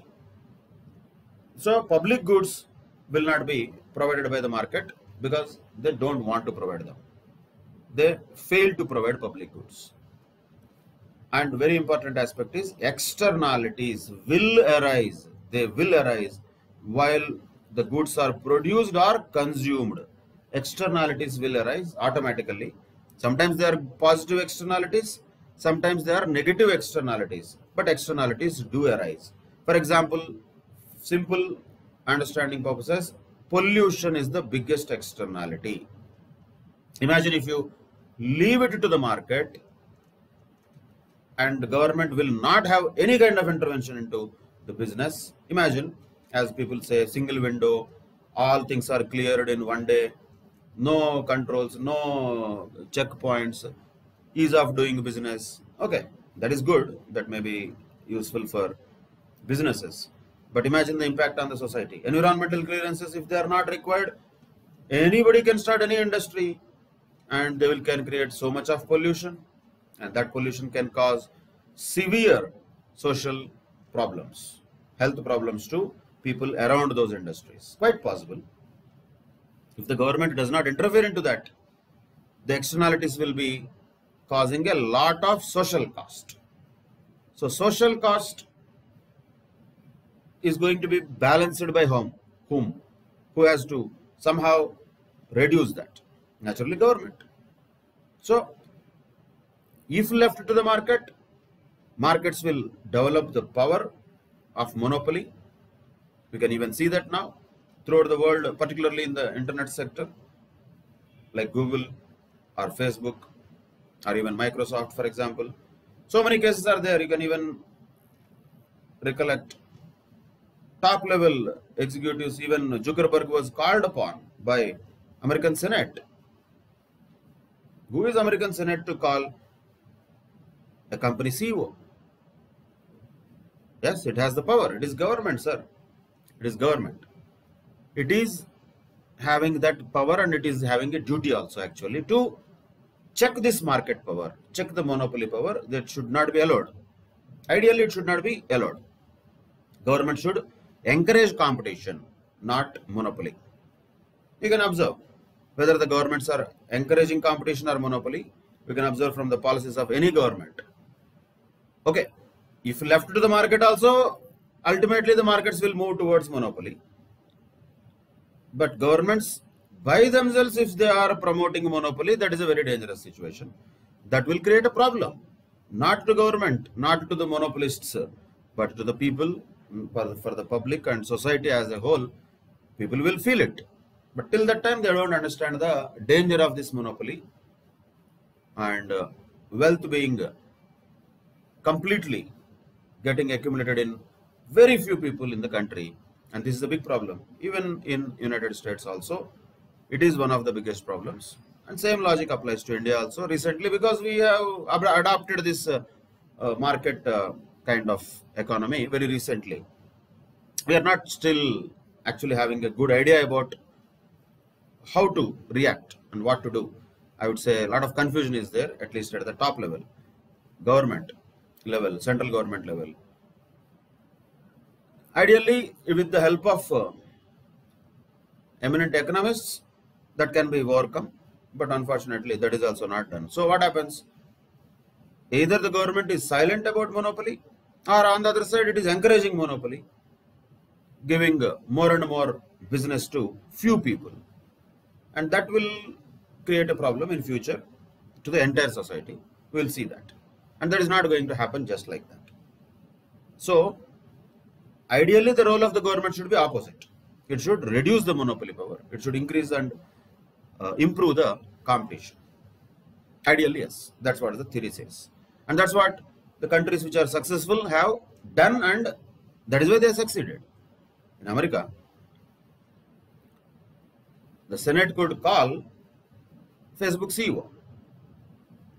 That happened. Of course, India also Parliament could call the local representative of Facebook. To that extent, okay. But can the Parliament in India call Mukesh Ambani to the parliament and ask some questions. Not that he should be called. Has not done any crime to be called, but is only to ask questions. Power is there, but can we do that? Can you even imagine that? Will, will it happen? Very difficult. Why? Because his power has already become so high, even beyond the regular people who are in the political power. So that is dangerous. That monopoly power market power by few corporations, few individuals is dangerous. Government should not allow that, ideally. But unfortunate thing is, not only it is allowing, it is actually encouraging. Who will face the problem? We will only face the problem, but that will happen in future. As long as it is happening, we don't understand that. After it happens, then we say, Arre, how it happened? Then we can't help it. The problem is, monopoly power is the nature of market. Ideally, the government should intervene to stop it. But market failure happens because of monopoly power. It happens because of the failure of the market to provide public goods. It happens because of externalities naturally which happen during the production or consumption of a good or service. And other reasons like factor immobility. Factor immobility is another important aspect that happens also in reality, like labor particularly labor is not that much mobile. Of course, people keep on moving from state to state, country to country, but uh, most of the people will still remain in the places where they are born. So that immobility creates unemployment and inefficiency. In other words, there is a job in one place and there is unemployment in another place. In other words, there are people who are required in one place and uh, the businesses are craving for people. They are asking for people to join and work there are a lot of vacancies. But on the other side, same country or same economy, maybe in some other place, there are so many people with no jobs. Or this can be matched easily. If government does not intervene, then this immobility will create a problem that will create inefficiency and unemployment. So that is another natural thing that happens in markets and that failure is common. Of course, nowadays it is uh, possible to be actually overcome with even technology, not necessarily that government has to intervene, But market failure definitely happens because of that. So simple question. What are the reasons for market failure? If that is the question asked, you have to write these core points. Monopoly power, public goods, externalities, factor immobility, imperfect information, and inequalities. Inequalities already we just now discussed. Imperfect information is also common. Sometimes misleading information also is not uncommon in markets. Uh, that is uh, what market does, tries to do, companies try to do. Just for uh, example purposes, if uh, we look at the Coca-Cola advertisement around somewhere in 1930s or 20s so or so, maybe 100 years back almost we can say, Coca-Cola was advertising that uh, drink this for avoiding headaches. I saw that somewhere. Uh, that was advertisement. I was shocked to see that. Now, if if, if Coca-Cola gives that, we will laugh at it. And that those those days it was given as an advertisement in the newspapers in America. Initially, what it said, have Coca-Cola. It will relieve you from stress, headache, uh, body pains, etc. Something like that. As if it is some medicine. Misleading information. It's actually not a really good thing to have, but it is telling the people to have it, enjoy it, and uh, that will actually cure your problems it is telling if government does not interfere in that if, if it's if it does not stop that imagine it did not stop that since then now onwards then uh, just for one second imagine what our uh, companies will tell us. What kind of lies they will tell us. In spite of some government control and intervention itself we are having all these advertisements. Nonsensical things. But in spite in, instead of them in the absence of such government intervention or any law which uh, stops them from giving uh, misleading information, imagine what they will tell. Coca-Cola will tell, drink Coca-Cola and become immortal. It will tell. No, you will never die. If you if you drink one Coca-Cola bottle each day, you will not die. That it will tell. Something like that they will tell. They will tell anything. I'm not telling they will really tell. I'm imagining. Point is, if there are no proper controls on that, market and business naturally anytime will give info, imperfect information. That is a big danger, and that that that will definitely market failure happens with imperfect information, and a lot of times it so happened government never interfered, and because of that imperfect information went and market collapsed it crashed. Market again does not mean stock market. We're talking about a particular segment or sector of an economy will have bad impacts over a period of time. For a shorter period of time, few people and few organizations may get a benefit of that. Yes, they will. But in the longer run, everybody will lose. Imagine Coca-Cola says, just let us say some new company has come. Why to take existing company? Some new company has started manufacturing a cool drink. And they say, you drink this and you will be you will be immortal like that advertisement they gave and you all we all had it and some of uh, the people have died also so will people buy that in future no they lost the trust completely no. So it is danger for the entire business. So for some time you can sell that. In the long run that will be danger to the entire market and entire economy. So imperfect information is a very common thing that happens in markets.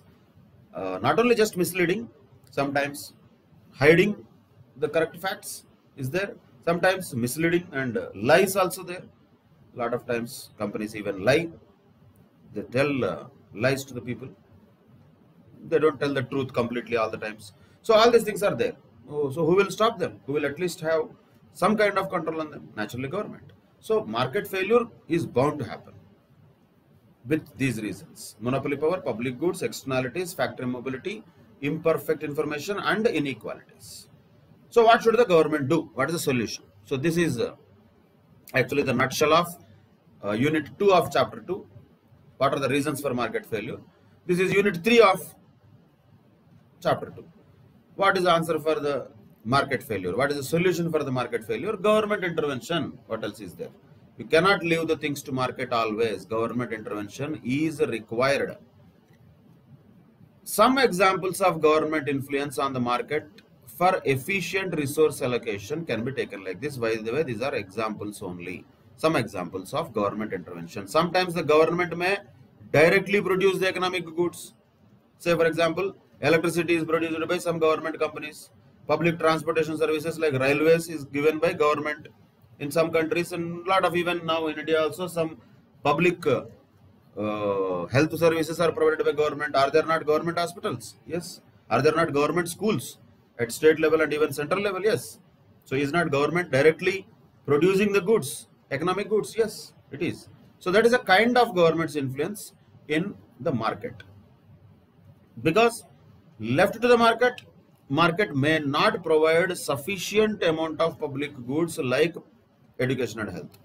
So government has to directly produce them. That is one way of intervening into the market.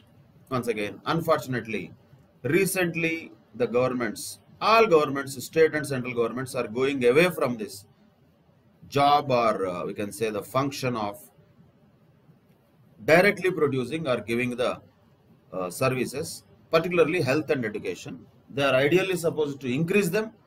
In fact, on the contrary, the reality is that the investment of government or expenditure of government on the health and education is uh, decreasing, which is not a good sign from Indian context. In other countries, they are much higher. But theoretically speaking also, it is the job of the government to produce certain public goods. So that is first way or one way that government directly produces certain economic goods. If you take countries like even uh, UK, Canada or Australia or France, Germany, most of the countries, the public health care is taken care, taken care by the government only. Government public health care is there. In the sense, most of the medical needs of the people are met by whom? Not the private hospitals only. Private hospitals also will be there. But most of the needs of the public will be met by government only. Like if you see in the America, there are courier services, big, big companies are there, American companies also like DHL. But in spite of that, America government has its postal service also. Recently, we came to know how important it is in the context of elections. So government, why should government do actually courier services to people? Taking letter from one person to another person. What nonsense government has to do with that, if you think logically. But yes, still the government does that. In America, it does that even though it is a capitalist economy. In India also, India Post is still there. Postal Department is there. It has its own services. Transportation is in India. Lot of states having their own public transport systems, buses, their own uh, transport corporations. Central government level, Indian Railways is their big example of directly producing the economic goods like transport services, health, education, transport, electricity, infrastructure. These are many things where government directly produces these economic goods. Government builds a road, government builds one port or airport. Why? Government builds a university. Why? Because that is its job. That is doing its job of what? Resource allocation. Allocation function it is just fulfilling. One of the ways of fulfilling that is directly producing the goods. Second way or another example of how the government can influence or perform its allocation function is it may have some incentives and disincentives given for certain types of businesses. For example, for production of certain goods which promote social welfare, government can give tax concessions and subsidies. Recently, electronic vehicles, let us say electric vehicles, are given subsidy by the central government and some state governments are also giving some subsidy and uh, tax concessions are also there on purchase of electronic cars, electrical cars. So, what is the need that government has to do that?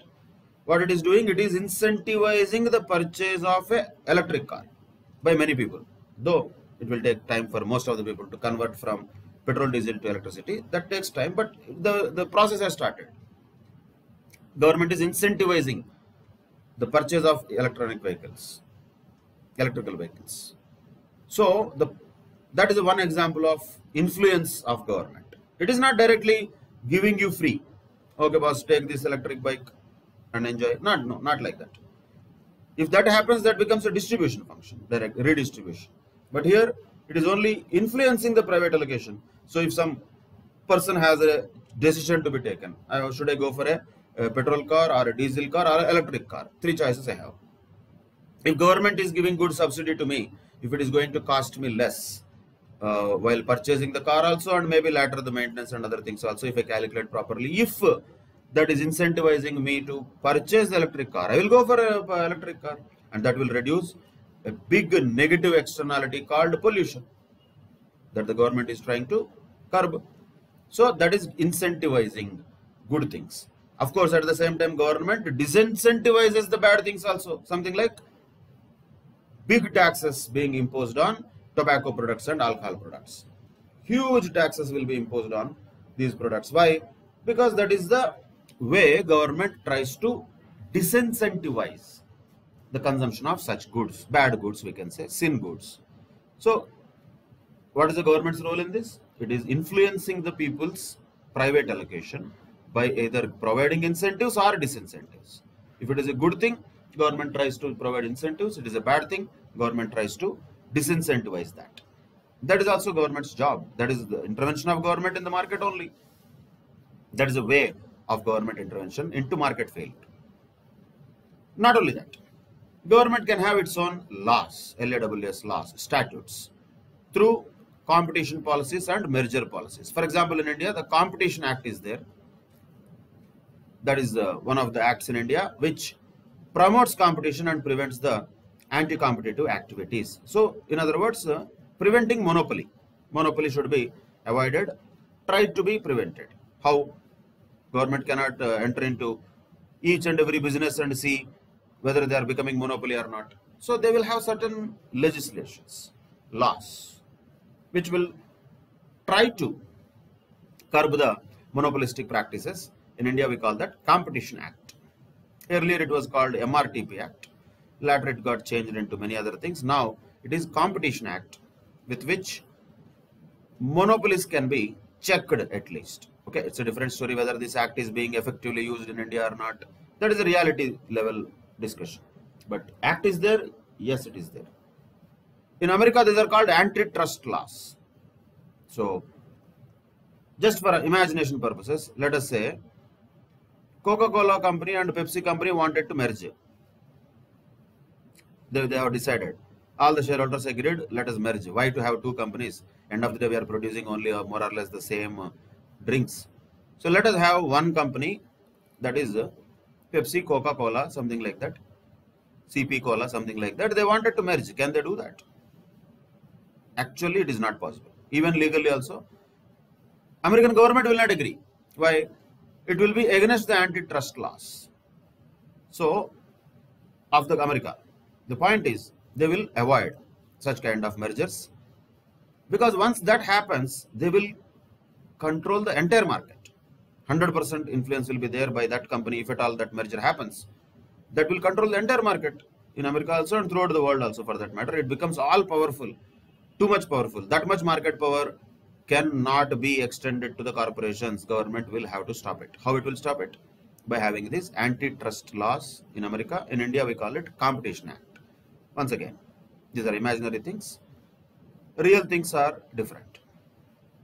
On the ground level, actually the governments are not much active on uh, these type of curbing the monopoly type of practices.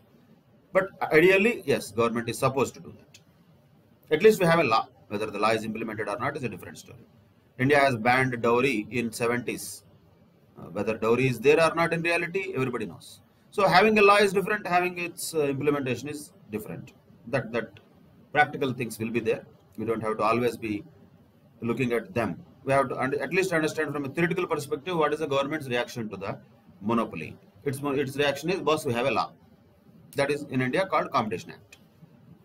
Same way, government will have certain regulatory activities. So much of regulatory activities will be there. Licensing, controls, minimum wages, and directives on the locations or industry influence, resource allocation. So many influences and regulatory activities the government will do. Imagine, let us say somebody wants to start manufacturing chips. Can you do that just like that? Not possible, sir. You have to take licenses. Food license you have to take. For that, uh, if you want to start a factory, you have to take pollution control, environmental clearances, oh, 100 different licenses have to be taken. And uh, you cannot just employ some child labor and uh, make them work. Will go to jail because the law says so. You cannot take them. You cannot employ the people of certain age. So, so many le- legislations and regulations are there with which, through which government will try to control the industry, control the market or influence the market, we can say. If not, what happens? You can imagine, chaos only will happen. That will only happen. If government will say, I will not interfere, you do whatever you want to do, then uh, the businesses will ask the labor to work for 24 hours. Don't sleep, they will say. They'll uh, employ kids also, they will employ people who are uh, very downtrodden and they don't pay them minimum wages also. Actually, they may actually do as good as a slavery type of situation if the government does not control. So government's job is to control that, regulate that. It is there. Government is not there only to make the businesses to be doing uh, its business easily. So ease of doing business is not the only thing. Of course, it is one of the things. At a broader level, economic development level, yes. But that should not come at the cost of basic uh, requirements of the people being just ignored. No. So government should ideally perform these regulatory activities as its allocation function, as an influence. It, it, it by itself it may not allocate something, but it will influence the market. For example, if you take America, see we cannot take India as an example in many of the cases. Many of the cases, if we take, ultimately we come out with a negative opinion. Unfortunately, what to do? So that we makes us again depressing. Rather than that, if you take America as an example, some things at least we can say, okay, it is doing something. UK as an example, okay, is it doing uh, health care for all the citizens? UK is a fantastic healthcare provider to the entire country. Everybody in uh, uh, UK is uh, covered by healthcare. So first uh, example is uh, fulfilled by government. India, we can see the incentives and incentives. Incentives, we are good in that. We are giving subsidies to electronic cars and uh, we are uh, taxing heavily on tobacco and alcohol. That that example is suitable for India. Competition Act, naam ke vaste is there in India. Practically, there is nothing much. On the other side, if you look at the other things like regulatory activities, so many regulations are there, but as we know in India, it is mostly of corruption because more the regulation, more the corruption. Ultimately, that is the other side of it. Yes, there are things which are good, which are policies wise, which are uh, law wise, legislation wise, which are all good, but implementation wise, they, they become problematic. And uh, legal and administrative frameworks will be set for the overall control and influence of the government on the market. But the point is, these are some things which the government will have influence upon the market and business. If not, there will be definitely inefficiencies in the market and unemployment will grow, market power will improve, and that becomes monopoly, and that will further create income inequalities. That means fairness and justice is gone. People are frustrated, and that can lead to social disturbances also. If the government is not doing its functions properly in these lines, it is the job of the government, duty of the government. Even the capitalist country like America, where people can be just hired and fired. Anybody can be just hired and fired in America. Somebody can be just given job to in the morning and uh, can be said that, okay, boss, thank you very much, go, go home in the evening. No problem. But even those countries have minimum wages. If, uh, if, if a person is not paid a minimum of certain dollars uh, per hour, uh, that is a crime. The business owner can be arrested for that. So the, the requirement of social justice is there for any country and how the government will try to implement with its own legislations it will try to do that. And it uh, regulatory activities policies acts and legal and administrative frameworks are some of the methods or we can say tools through which government tries to influence the market. Ultimate objective is efficient resource allocation. And what is the function of the government we are looking at? This is the allocation function of the government. And why allocation function is required? Because markets fail. Why markets fail? These are the reasons. And how the government will try to intervene into the market failure? These are some of the examples. So what is the nutshell? Government intervention basically is to direct the functioning of the economy. And that is based on the belief that objective of the economic system and role of government is to improve the well-being of the individuals and households. If we say, I don't care, if, if there is any government which says, why should I care about the well-being of the individuals and households in my country, then such government need not intervene. It will not intervene also. It will say, I don't care. Let the people be doing what they want to do. I will only look at police and defense, nothing else. So that type of governments are not ideal governments. Why? Because they are not intervening when they are supposed to intervene. And throughout the world, it is a, a basic uh, rule in the public finance that governments are the representatives of the economic system what people have created for themselves. And what is the job of the government? Objective of such government or economic system is to improve the well-being of the individuals. And how it can, how it can do? Of course, not letting the markets completely according to their whims and fancies, but by intervening into the markets when required. Nobody is saying that government should intervene every day into every small business. No, not like that. When required, government intervention is must. That's what the theory of this public finance says. And there is a other side of the coin also. Okay, we are saying government intervention, government intervention, which is good, which is required, we are saying. We are only saying that. Does it mean that automatically the government has the capacity of correcting the market failures all the times? Is government so powerful that it can correct the market failures every time, all the times, always? No. Answer is no. Market failure is inevitable. That is must. That is going to happen, bound to happen. And the practical example of market failure is business cycles. Business cycles keep on happening. Sometimes the economy will be up, again it will be down, again it will be up, again it will be down. Okay, up and down looks very easy to watch. Oh, it is very nice, cycle type. We, we just give them a very good name, trade cycle, business cycle like that. Looks like good. But look at the reality of the people. While the economy is going down, or while the economy is at a depression level or a recessionary level, how many people would lose their jobs? How many people will lose their incomes? How many people will starve? How many people will lose a basic living? And uh, what kind of uh, uh, self-esteem that they will lose at that level? That is unimaginable. Okay, it might come back later. But in this process, maybe there are thousands of people, lakhs of people died also. Possible, no? So, economy is uh, not going to be answerable for that or for their deaths or for their suffering. That will be wrong. Of course, in spite of government intervention, these cycles keep on happening. The point is how to reduce this. How much? Okay, little bit of cycle happening is okay. This is okay. If the cycle is happening like this, if we are going like this, like this, if we are going, danger, no? Going down, down, down, further down, further down. Are, that is danger. Government has to intervene. Government has to make sure it goes up. Once again, it is a job of the government. They cannot say it is act of God and all. That is nonsense. It is the job of the government to intervene because ultimately it is the government's responsibility to improve the well-being of the individuals.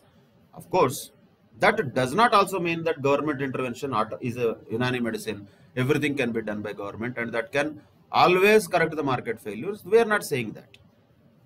We cannot say that also. Why? Because government also suffers from a lot of failures. Market failures happen. Yes. Government failures will not happen or what? Government failures happen. So many things have failed in many cases. Lot of uh, policies could be wrong. For example, in India, demonetization failed. GST implemented reasonably okay. But economy level, it has not created a positive impact. Rather, it has uh, reduced the growth. So, there will be always a balancing thing. When there is a market failure, government intervention happens. And government intervention should happen in such a way that it will correct the market failure. But sometimes it backfires. Sometimes. Government also can fail. So on the one hand, market is failing. On the other hand, government is also failing. If both are failing, what happens? Sir? Economy will go to doldrums. That is a problem. That should not happen. Ideally, it should not happen. We hope it should not happen to India. But unfortunately, the signals are that both are happening at the simultaneously now. Of course, because of external reasons also. But government intervention is ideally supposed to be stronger. It cannot afford to have one more failure now. Already failures happened. And those failures cannot be repeated. And they have to be corrected now at least. And government failures do happen. as a uh, as a continuation or we can say even sometimes trying to substitute market failures government will do some overaction and that will also result in government failures that would be due to imperfect information due to high administrative costs or tendency of the bureaucracy and even politicians because ultimately politicians run the governments to promote vested self-interest using the government mechanism. So to promote one's own image is uh, one person's uh, image to be developed. If at all we are doing some big things and announcing big big things something like demonetization in one night. And that that that that, that was uh, done with imperfect information. Imperfect information was that oh black money was all there in cash. We should remove that black money by banning the old notes like 500 and 1000 rupees notes. That information itself was imperfect because wealth money are not same. Currency is different. Wealth is different. Money is different.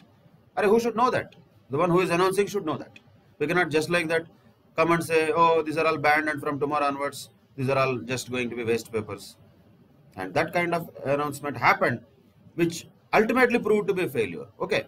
Intention might be right intention could be right failure is not that intended. Nobody will go to write the exam with an intention to fail.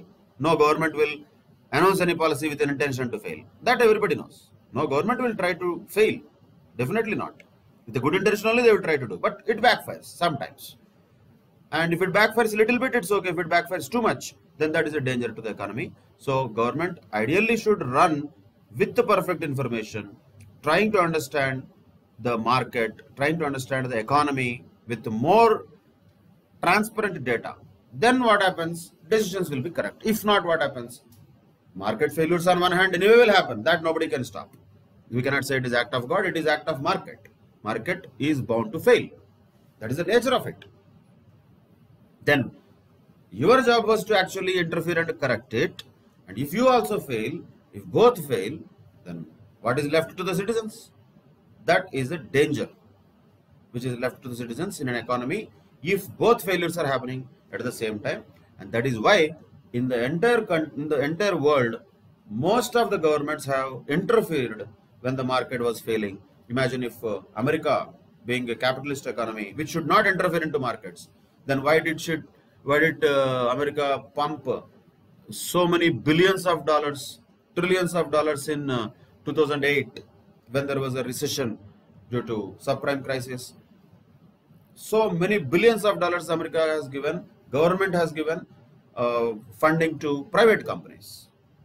And most of the companies, including General Motors or Ford or even uh, uh, big banks like Citibank, got fund from the government. Without that, they would have been actually bankrupt. So why the government had to intervene? Because they know that market failure is happening. Somehow we should stop it. Of course, Sometimes government will do it directly, sometimes it will do through the Fed or in India, central bank or that is Reserve Bank of India. So the point of how the intervention happens is definitely the policy of the government. The question of whether the intervention should happen or not, answer is yes. Because markets are bound to fail, government intervention is inevitable. It is important. But while doing so, government has to be aware that it is not some superpower that it will never fail. That itself is a very wrong thing. If any government is behaving as if like we, we don't do anything wrong everything whatever we do is right that attitude itself is wrong. Because that is impossible. Any government in the world any person in the world any leader in the world can be not there in such a way that they will never do anything wrong there will be some wrong things okay fine accept them no problem learn from the mistakes don't do the mistakes once again learn and grow that is how the government should be. Ideally, a progressive government will do that. If not, government failures will keep on increasing, market failures will keep on increasing, and both put together will become a very dangerous combination. Unfortunately, we are looking at that in India now, and we have to see how market comes out of this problems and how government actually will support the market also in future. We have to look at it. As of now, definitely, I would say both have failed. Government failure happened, and market failure also happened unfortunate but reality in other countries also government failed lot of governments failed, but lot of governments succeeded also. Some of the governments in the world have succeeded also in uh, preventing the market failures, in correcting the market failures. Something they did so that the negative impact of the market failure is not actually felt by or uh, the, the wrath of the market failure is not actually uh, coming on to the citizens. That is the nature or we would say the function and the role, the basic job of the government is that. Market is very dangerous always, it is cruel and when the market will throw its claws on us, there should be some protector to the public, to the people, to the country and that is government. And if government also encourages that market failure by its own failures, then that is going to be a double dhamaka failure, dangerous situation. Ideally, it should not happen and it should be reversed at least going forward is what we can hope. But once again, the essence of this is what we should understand. Government intervention is not wrong, Baba. That is important. That is good. It should happen, but carefully it should happen. It should not be in a aggressive bulldozing manner. It should not be in a uh, manner without proper information. That is the government intervention's basic nature. And after the allocation function, let us come to redistribution function. What are the objectives of it? Name itself indicates.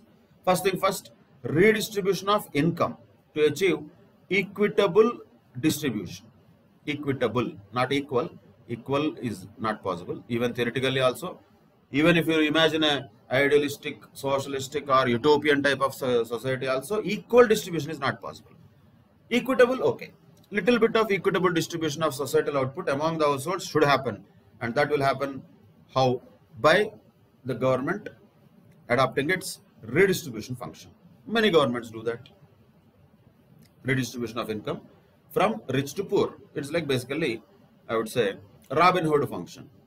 Take from the rich, give it to the poor. You have to do that. Otherwise, poor will die. That's it. When poor will die, who will work for you?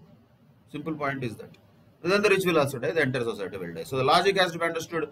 The Matsya cannot be left for human beings. If that is left to the human beings, nobody will be left. Ultimately, everybody will be gone. Entire economy and society itself will be a big problem. So it should not happen. So government should intervene and it should do the redistribution function for achieving equitable distribution of societal output. And not only that, for advancing the well-being of those members of the society who suffer from deprivations of different types. There will be always different types of uh, groups within a society. If you take America, different uh, groups are there who are majority, minority, blacks, uh, you know, European uh, community, Chinese, Indian. So many people will be there. Some of them are more deprived than others. Like recently we saw Black Lives Matters and all movements. Like that, in uh, India, there are different types of uh, castes, uh, religions, uh, and uh, even regions uh, which are which are like little backward and downtrodden. Those are deprived uh, from the growth and development of the country. So, should the government balance it or not? Somehow, should, should the government give some helping hand to those deprived sections of the society or not? Answer is yes, government is supposed to do that. So, the well-being of those members also should be taken care of by the government through redistribution function. Of course, the same thing is repeated, providing, trying to try provide equality in the income, wealth and opportunities. That is idealistic providing equality in the income, wealth and opportunities and providing the security for people who have hardships. For example, uh, people with uh, disabilities, physical and uh, mental disabilities, uh, they cannot work. Look at a society. When there is a society in which some people are there who are weak, who are like not able to work, then society should take care of them. No? Like old people are there, retired people, aged people are there they cannot work. They, they, they cannot actually contribute to the economy, but they have to live. So they will not give anything to economy, but they will eat from the economy. So should so should the society say that okay oh, no no no no we will not give you. You work only, then only I will give you. Otherwise you die. Is it is it a human society? Is it what a good society we are looking at? No. So people who have hardships should be given helping hand. Those who cannot work, those who cannot uh, contribute to the economy, those who do, not, who do not have the capacity or capability to uh, do any work, for them who will support? Somebody should support. No? That should be naturally government. That is what government will, will try to do in the redistribution function, providing security for the people who have hardships, who are downtrodden and who have problems. Like particularly example wise, if you take uh, disabled persons is a practical example. Then ensuring that everyone enjoys a minimal standard of living. Roti kapda makan, basic necessities, are they met or not? So kapda makan is a different story. At least roti in India, at least people should not be dying of starvation and uh, dying of hunger. At least that much should be ensured. No? That is why, if you remember and see the uh, recent uh, distribution of uh, grains, food grains freely by the government to almost like uh, 40 50 crores of the people in India, uh, they, they, are getting uh, free distribution of grains. So, why the government should do that? Free, just like that. Government, central government is giving wheat or rice, some 5 kgs or something per person per month in a family. Like that, so many crores of people 60, 70 crores of people are being given that. Because of problems now, because basic living also has become a problem and uh, eating also is not possible because people have lost their jobs and they are not able to get at least their basic need of getting uh, uh, fed met. So government has to ensure that everybody at least enjoys that minimal standard of living. Of course, ideally, what is the minimum standard of living? That changes from again country to country. In some other countries, it could be all three, roti, kapda, makan. In India, it is only a slogan, roti, kapda, makan. Uh, but practicality is that at least roti, government is supposed to give.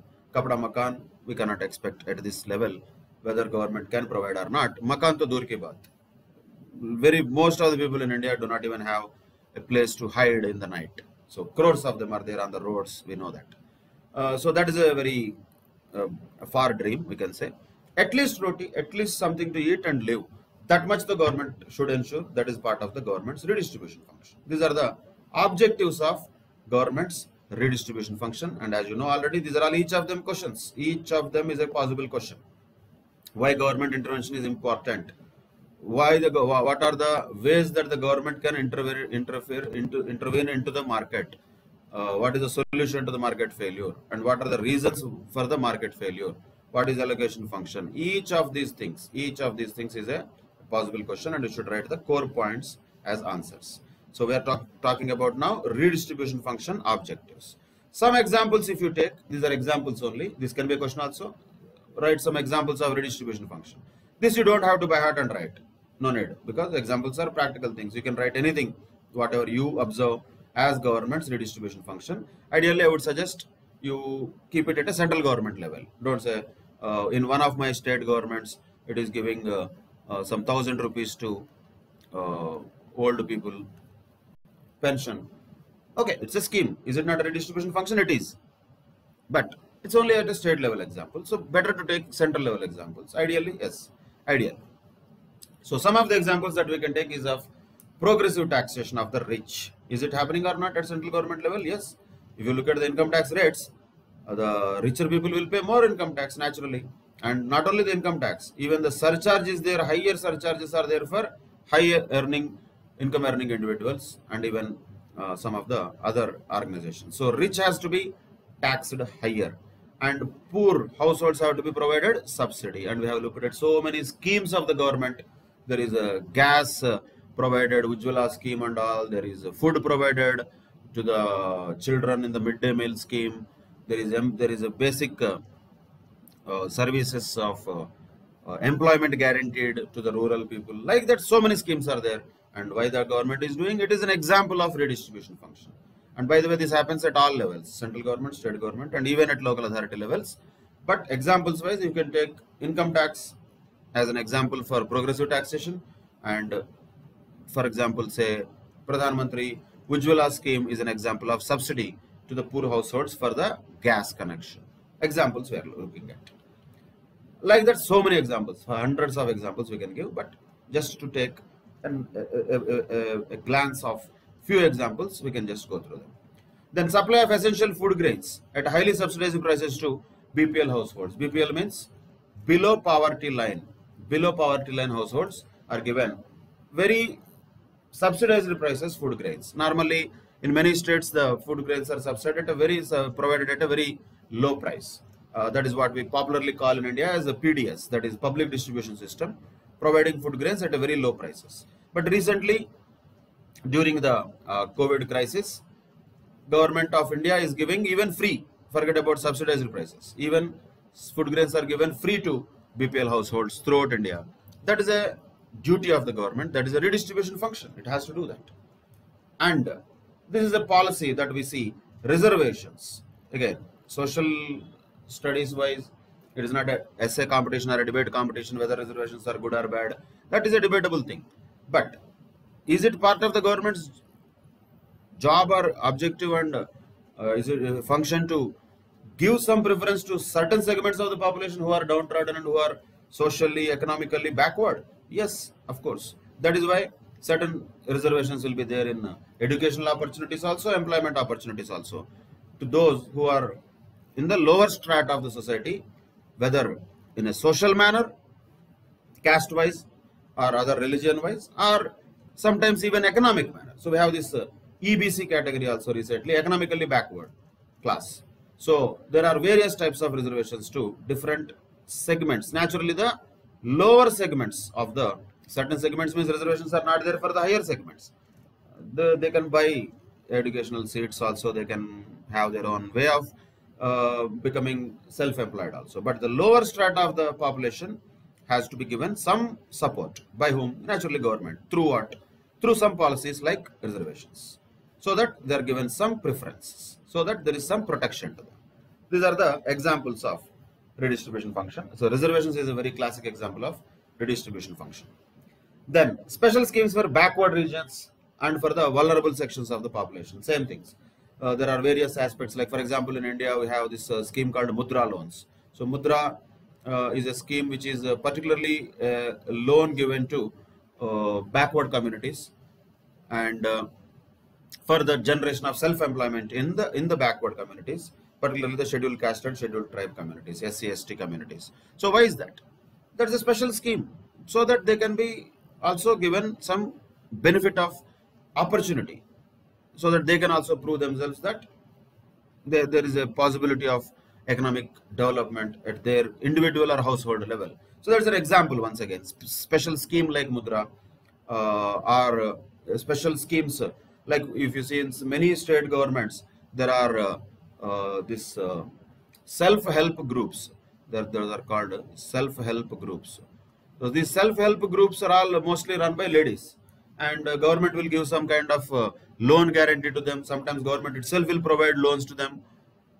Those are the things the governments do. State governments also and central government also will provide finances to backward communities. They provide finances to uh, ladies female and women population so that there can be development in those segments also which are marginalized vulnerable sections of the population. Certain special schemes are there and that is quite natural and very good on part of government to have such kind of schemes because once again it is its job it is the redistribution function that the government is fulfilling by having all these schemes and some schemes are there only for certain backward regions also regional schemes are also there tax incentives are there for certain regions if the investment is made.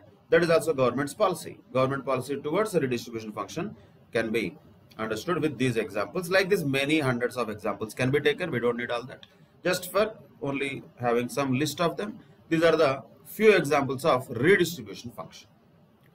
Now moving on to the last and uh, another broader level very important function is the stabilization function.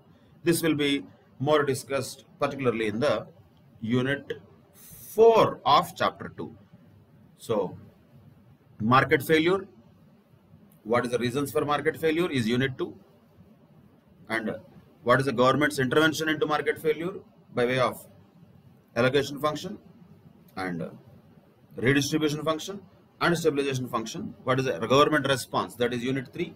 Unit 4 particularly about fiscal policy which is again extension of stabilization function and this stabilization function is in accordance with the Keynesian proposition as we just now understood that was proposed by Keynes only. The theoretical rationale for the stabilization function is from the Keynesian, Keynesian proposition means the famous economist Keynes has proposed that market economy does not automatically generate full employment and price stability. No, it cannot. It does not. So the full employment and price stability cannot be achieved by market by itself. That is a very basic thing that Keynes has proposed. So what is the solution for it? So governments should pursue deliberate stabilization policies. Governments have to have their own policies so that the market economy is having a stabilization at a broader level. So the point of stabilization function itself has emanated from Keynes proposition that market economy will not automatically generate full employment and price stability and it is the job of the governments to pursue deliberate stabilization policies. And why is it?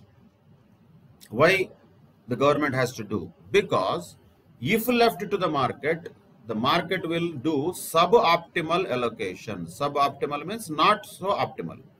Sub means less than optimal. So not optimal allocation. So optimal allocation of resources will not happen in the market economy if it is left on its own.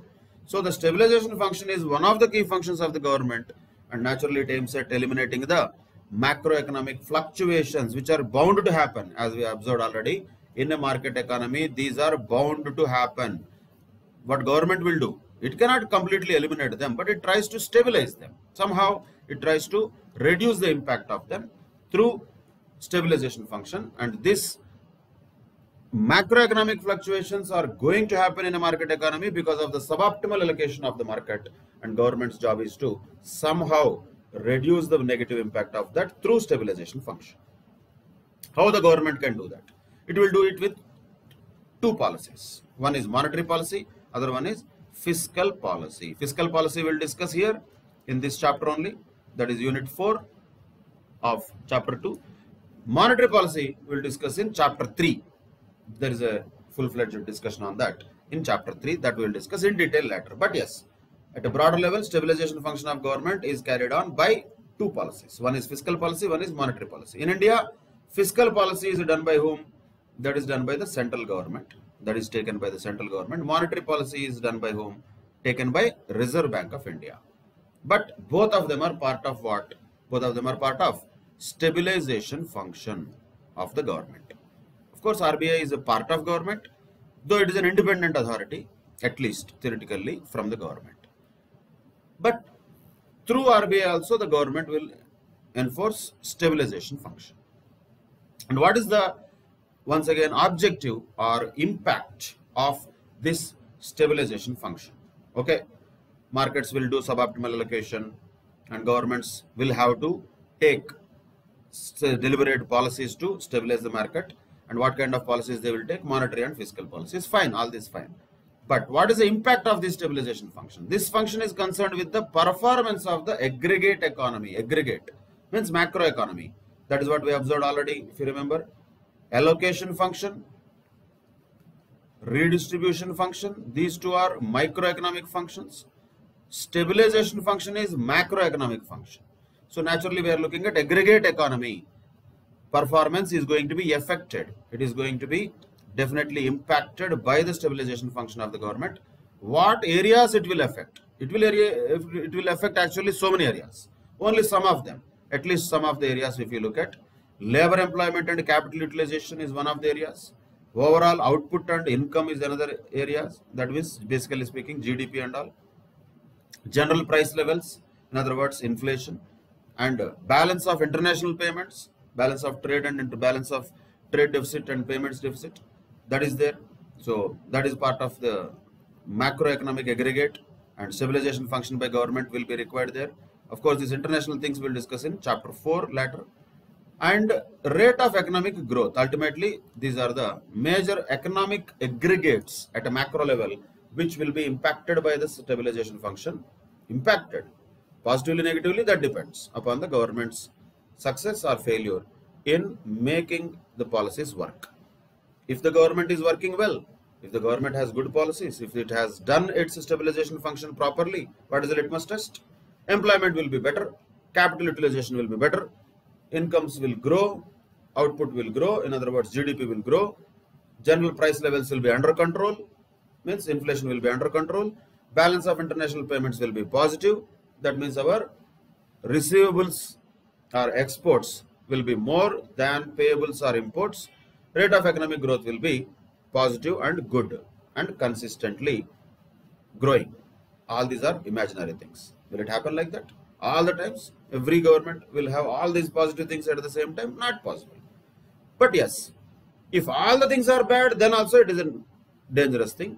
Naturally, there will be some things which are good, some things which are bad. Government is bound to, obliged to actually do this circus of stabilizing somehow to make sure the economy is working well and performing well in all these areas employment inflation growth gdp balance of trade capital formation and utilization all these areas have to work well they have to work well automatically if in a market economy but if they are not working well what government should do it should interfere and do the stabilization function so that it will try to get the best results out of the market or economy as a whole. So that is the stabilization functions. We can say a kind of uh, objectives or we can even say the impact of the stabilization function at a macroeconomic level or at a country level on a whole, at an aggregate level. So these are the various aspects of government intervention into the markets, what is the requirement of it, and what are the ways through which the government will intervene into the market? Can be studied in three broad areas allocation, distribution, and stabilization functions. Reasons for them we will discuss in detail. Market failures, why they happen, we will discuss in detail in the next unit. How the government intervenes and uh, tries to reduce the negative impact of market failures. These are all theoretical things. We will discuss in unit uh, 3 of this chapter and uh, what kinds of fiscal policies the government might take as a part of the stabilization function we'll discuss in unit 4 of this chapter. Monetary policy will be dealt in chapter 3 that is the next chapter. We'll do that later. But as of now this is the overview of the fiscal functions of a government. Role of a government, objectives and functions of a government. In an economic perspective we are looking at, once again I am repeating, not to be looked from a political prism. Political perspective is inevitable with the economic perspective, but we should try to avoid the political perspective as learners. Economic perspective wise, if things are good, that is a good performance. If things are bad, that is a bad performance. Simple. If a student gets good marks, we say that student is fantastic. That does not mean I like that student. If a student gets less marks, I will say that student has not performed. That does not mean I hate that student. The result shows performance of the economy is definitely one of the responsibilities of the government. That is why the economic system is there in the first place if the government says I am not responsible for it, that is not acceptable. It is definitely going away from its accountability. It should not happen, ideally speaking. But from the theoretical perspective, even if you look at the international level also, these are nothing to do with exactly only in India. All these things that we are learning are mostly even applicable to any country in the world. So every government in the world, any state, any particular economy or economic system is responsible for the betterment of the society, well-being of the society. In order to do so, it has to perform all these types of functions, allocation, redistribution and stabilization. That is the overall role of government in an economy in a nutshell. With that, we'll conclude this unit 1 of chapter 2 and in the next session, we'll continue with unit 2 of this chapter which will be about reasons for market failure in detail. We'll discuss them. Till then take care. Bye bye thank you very much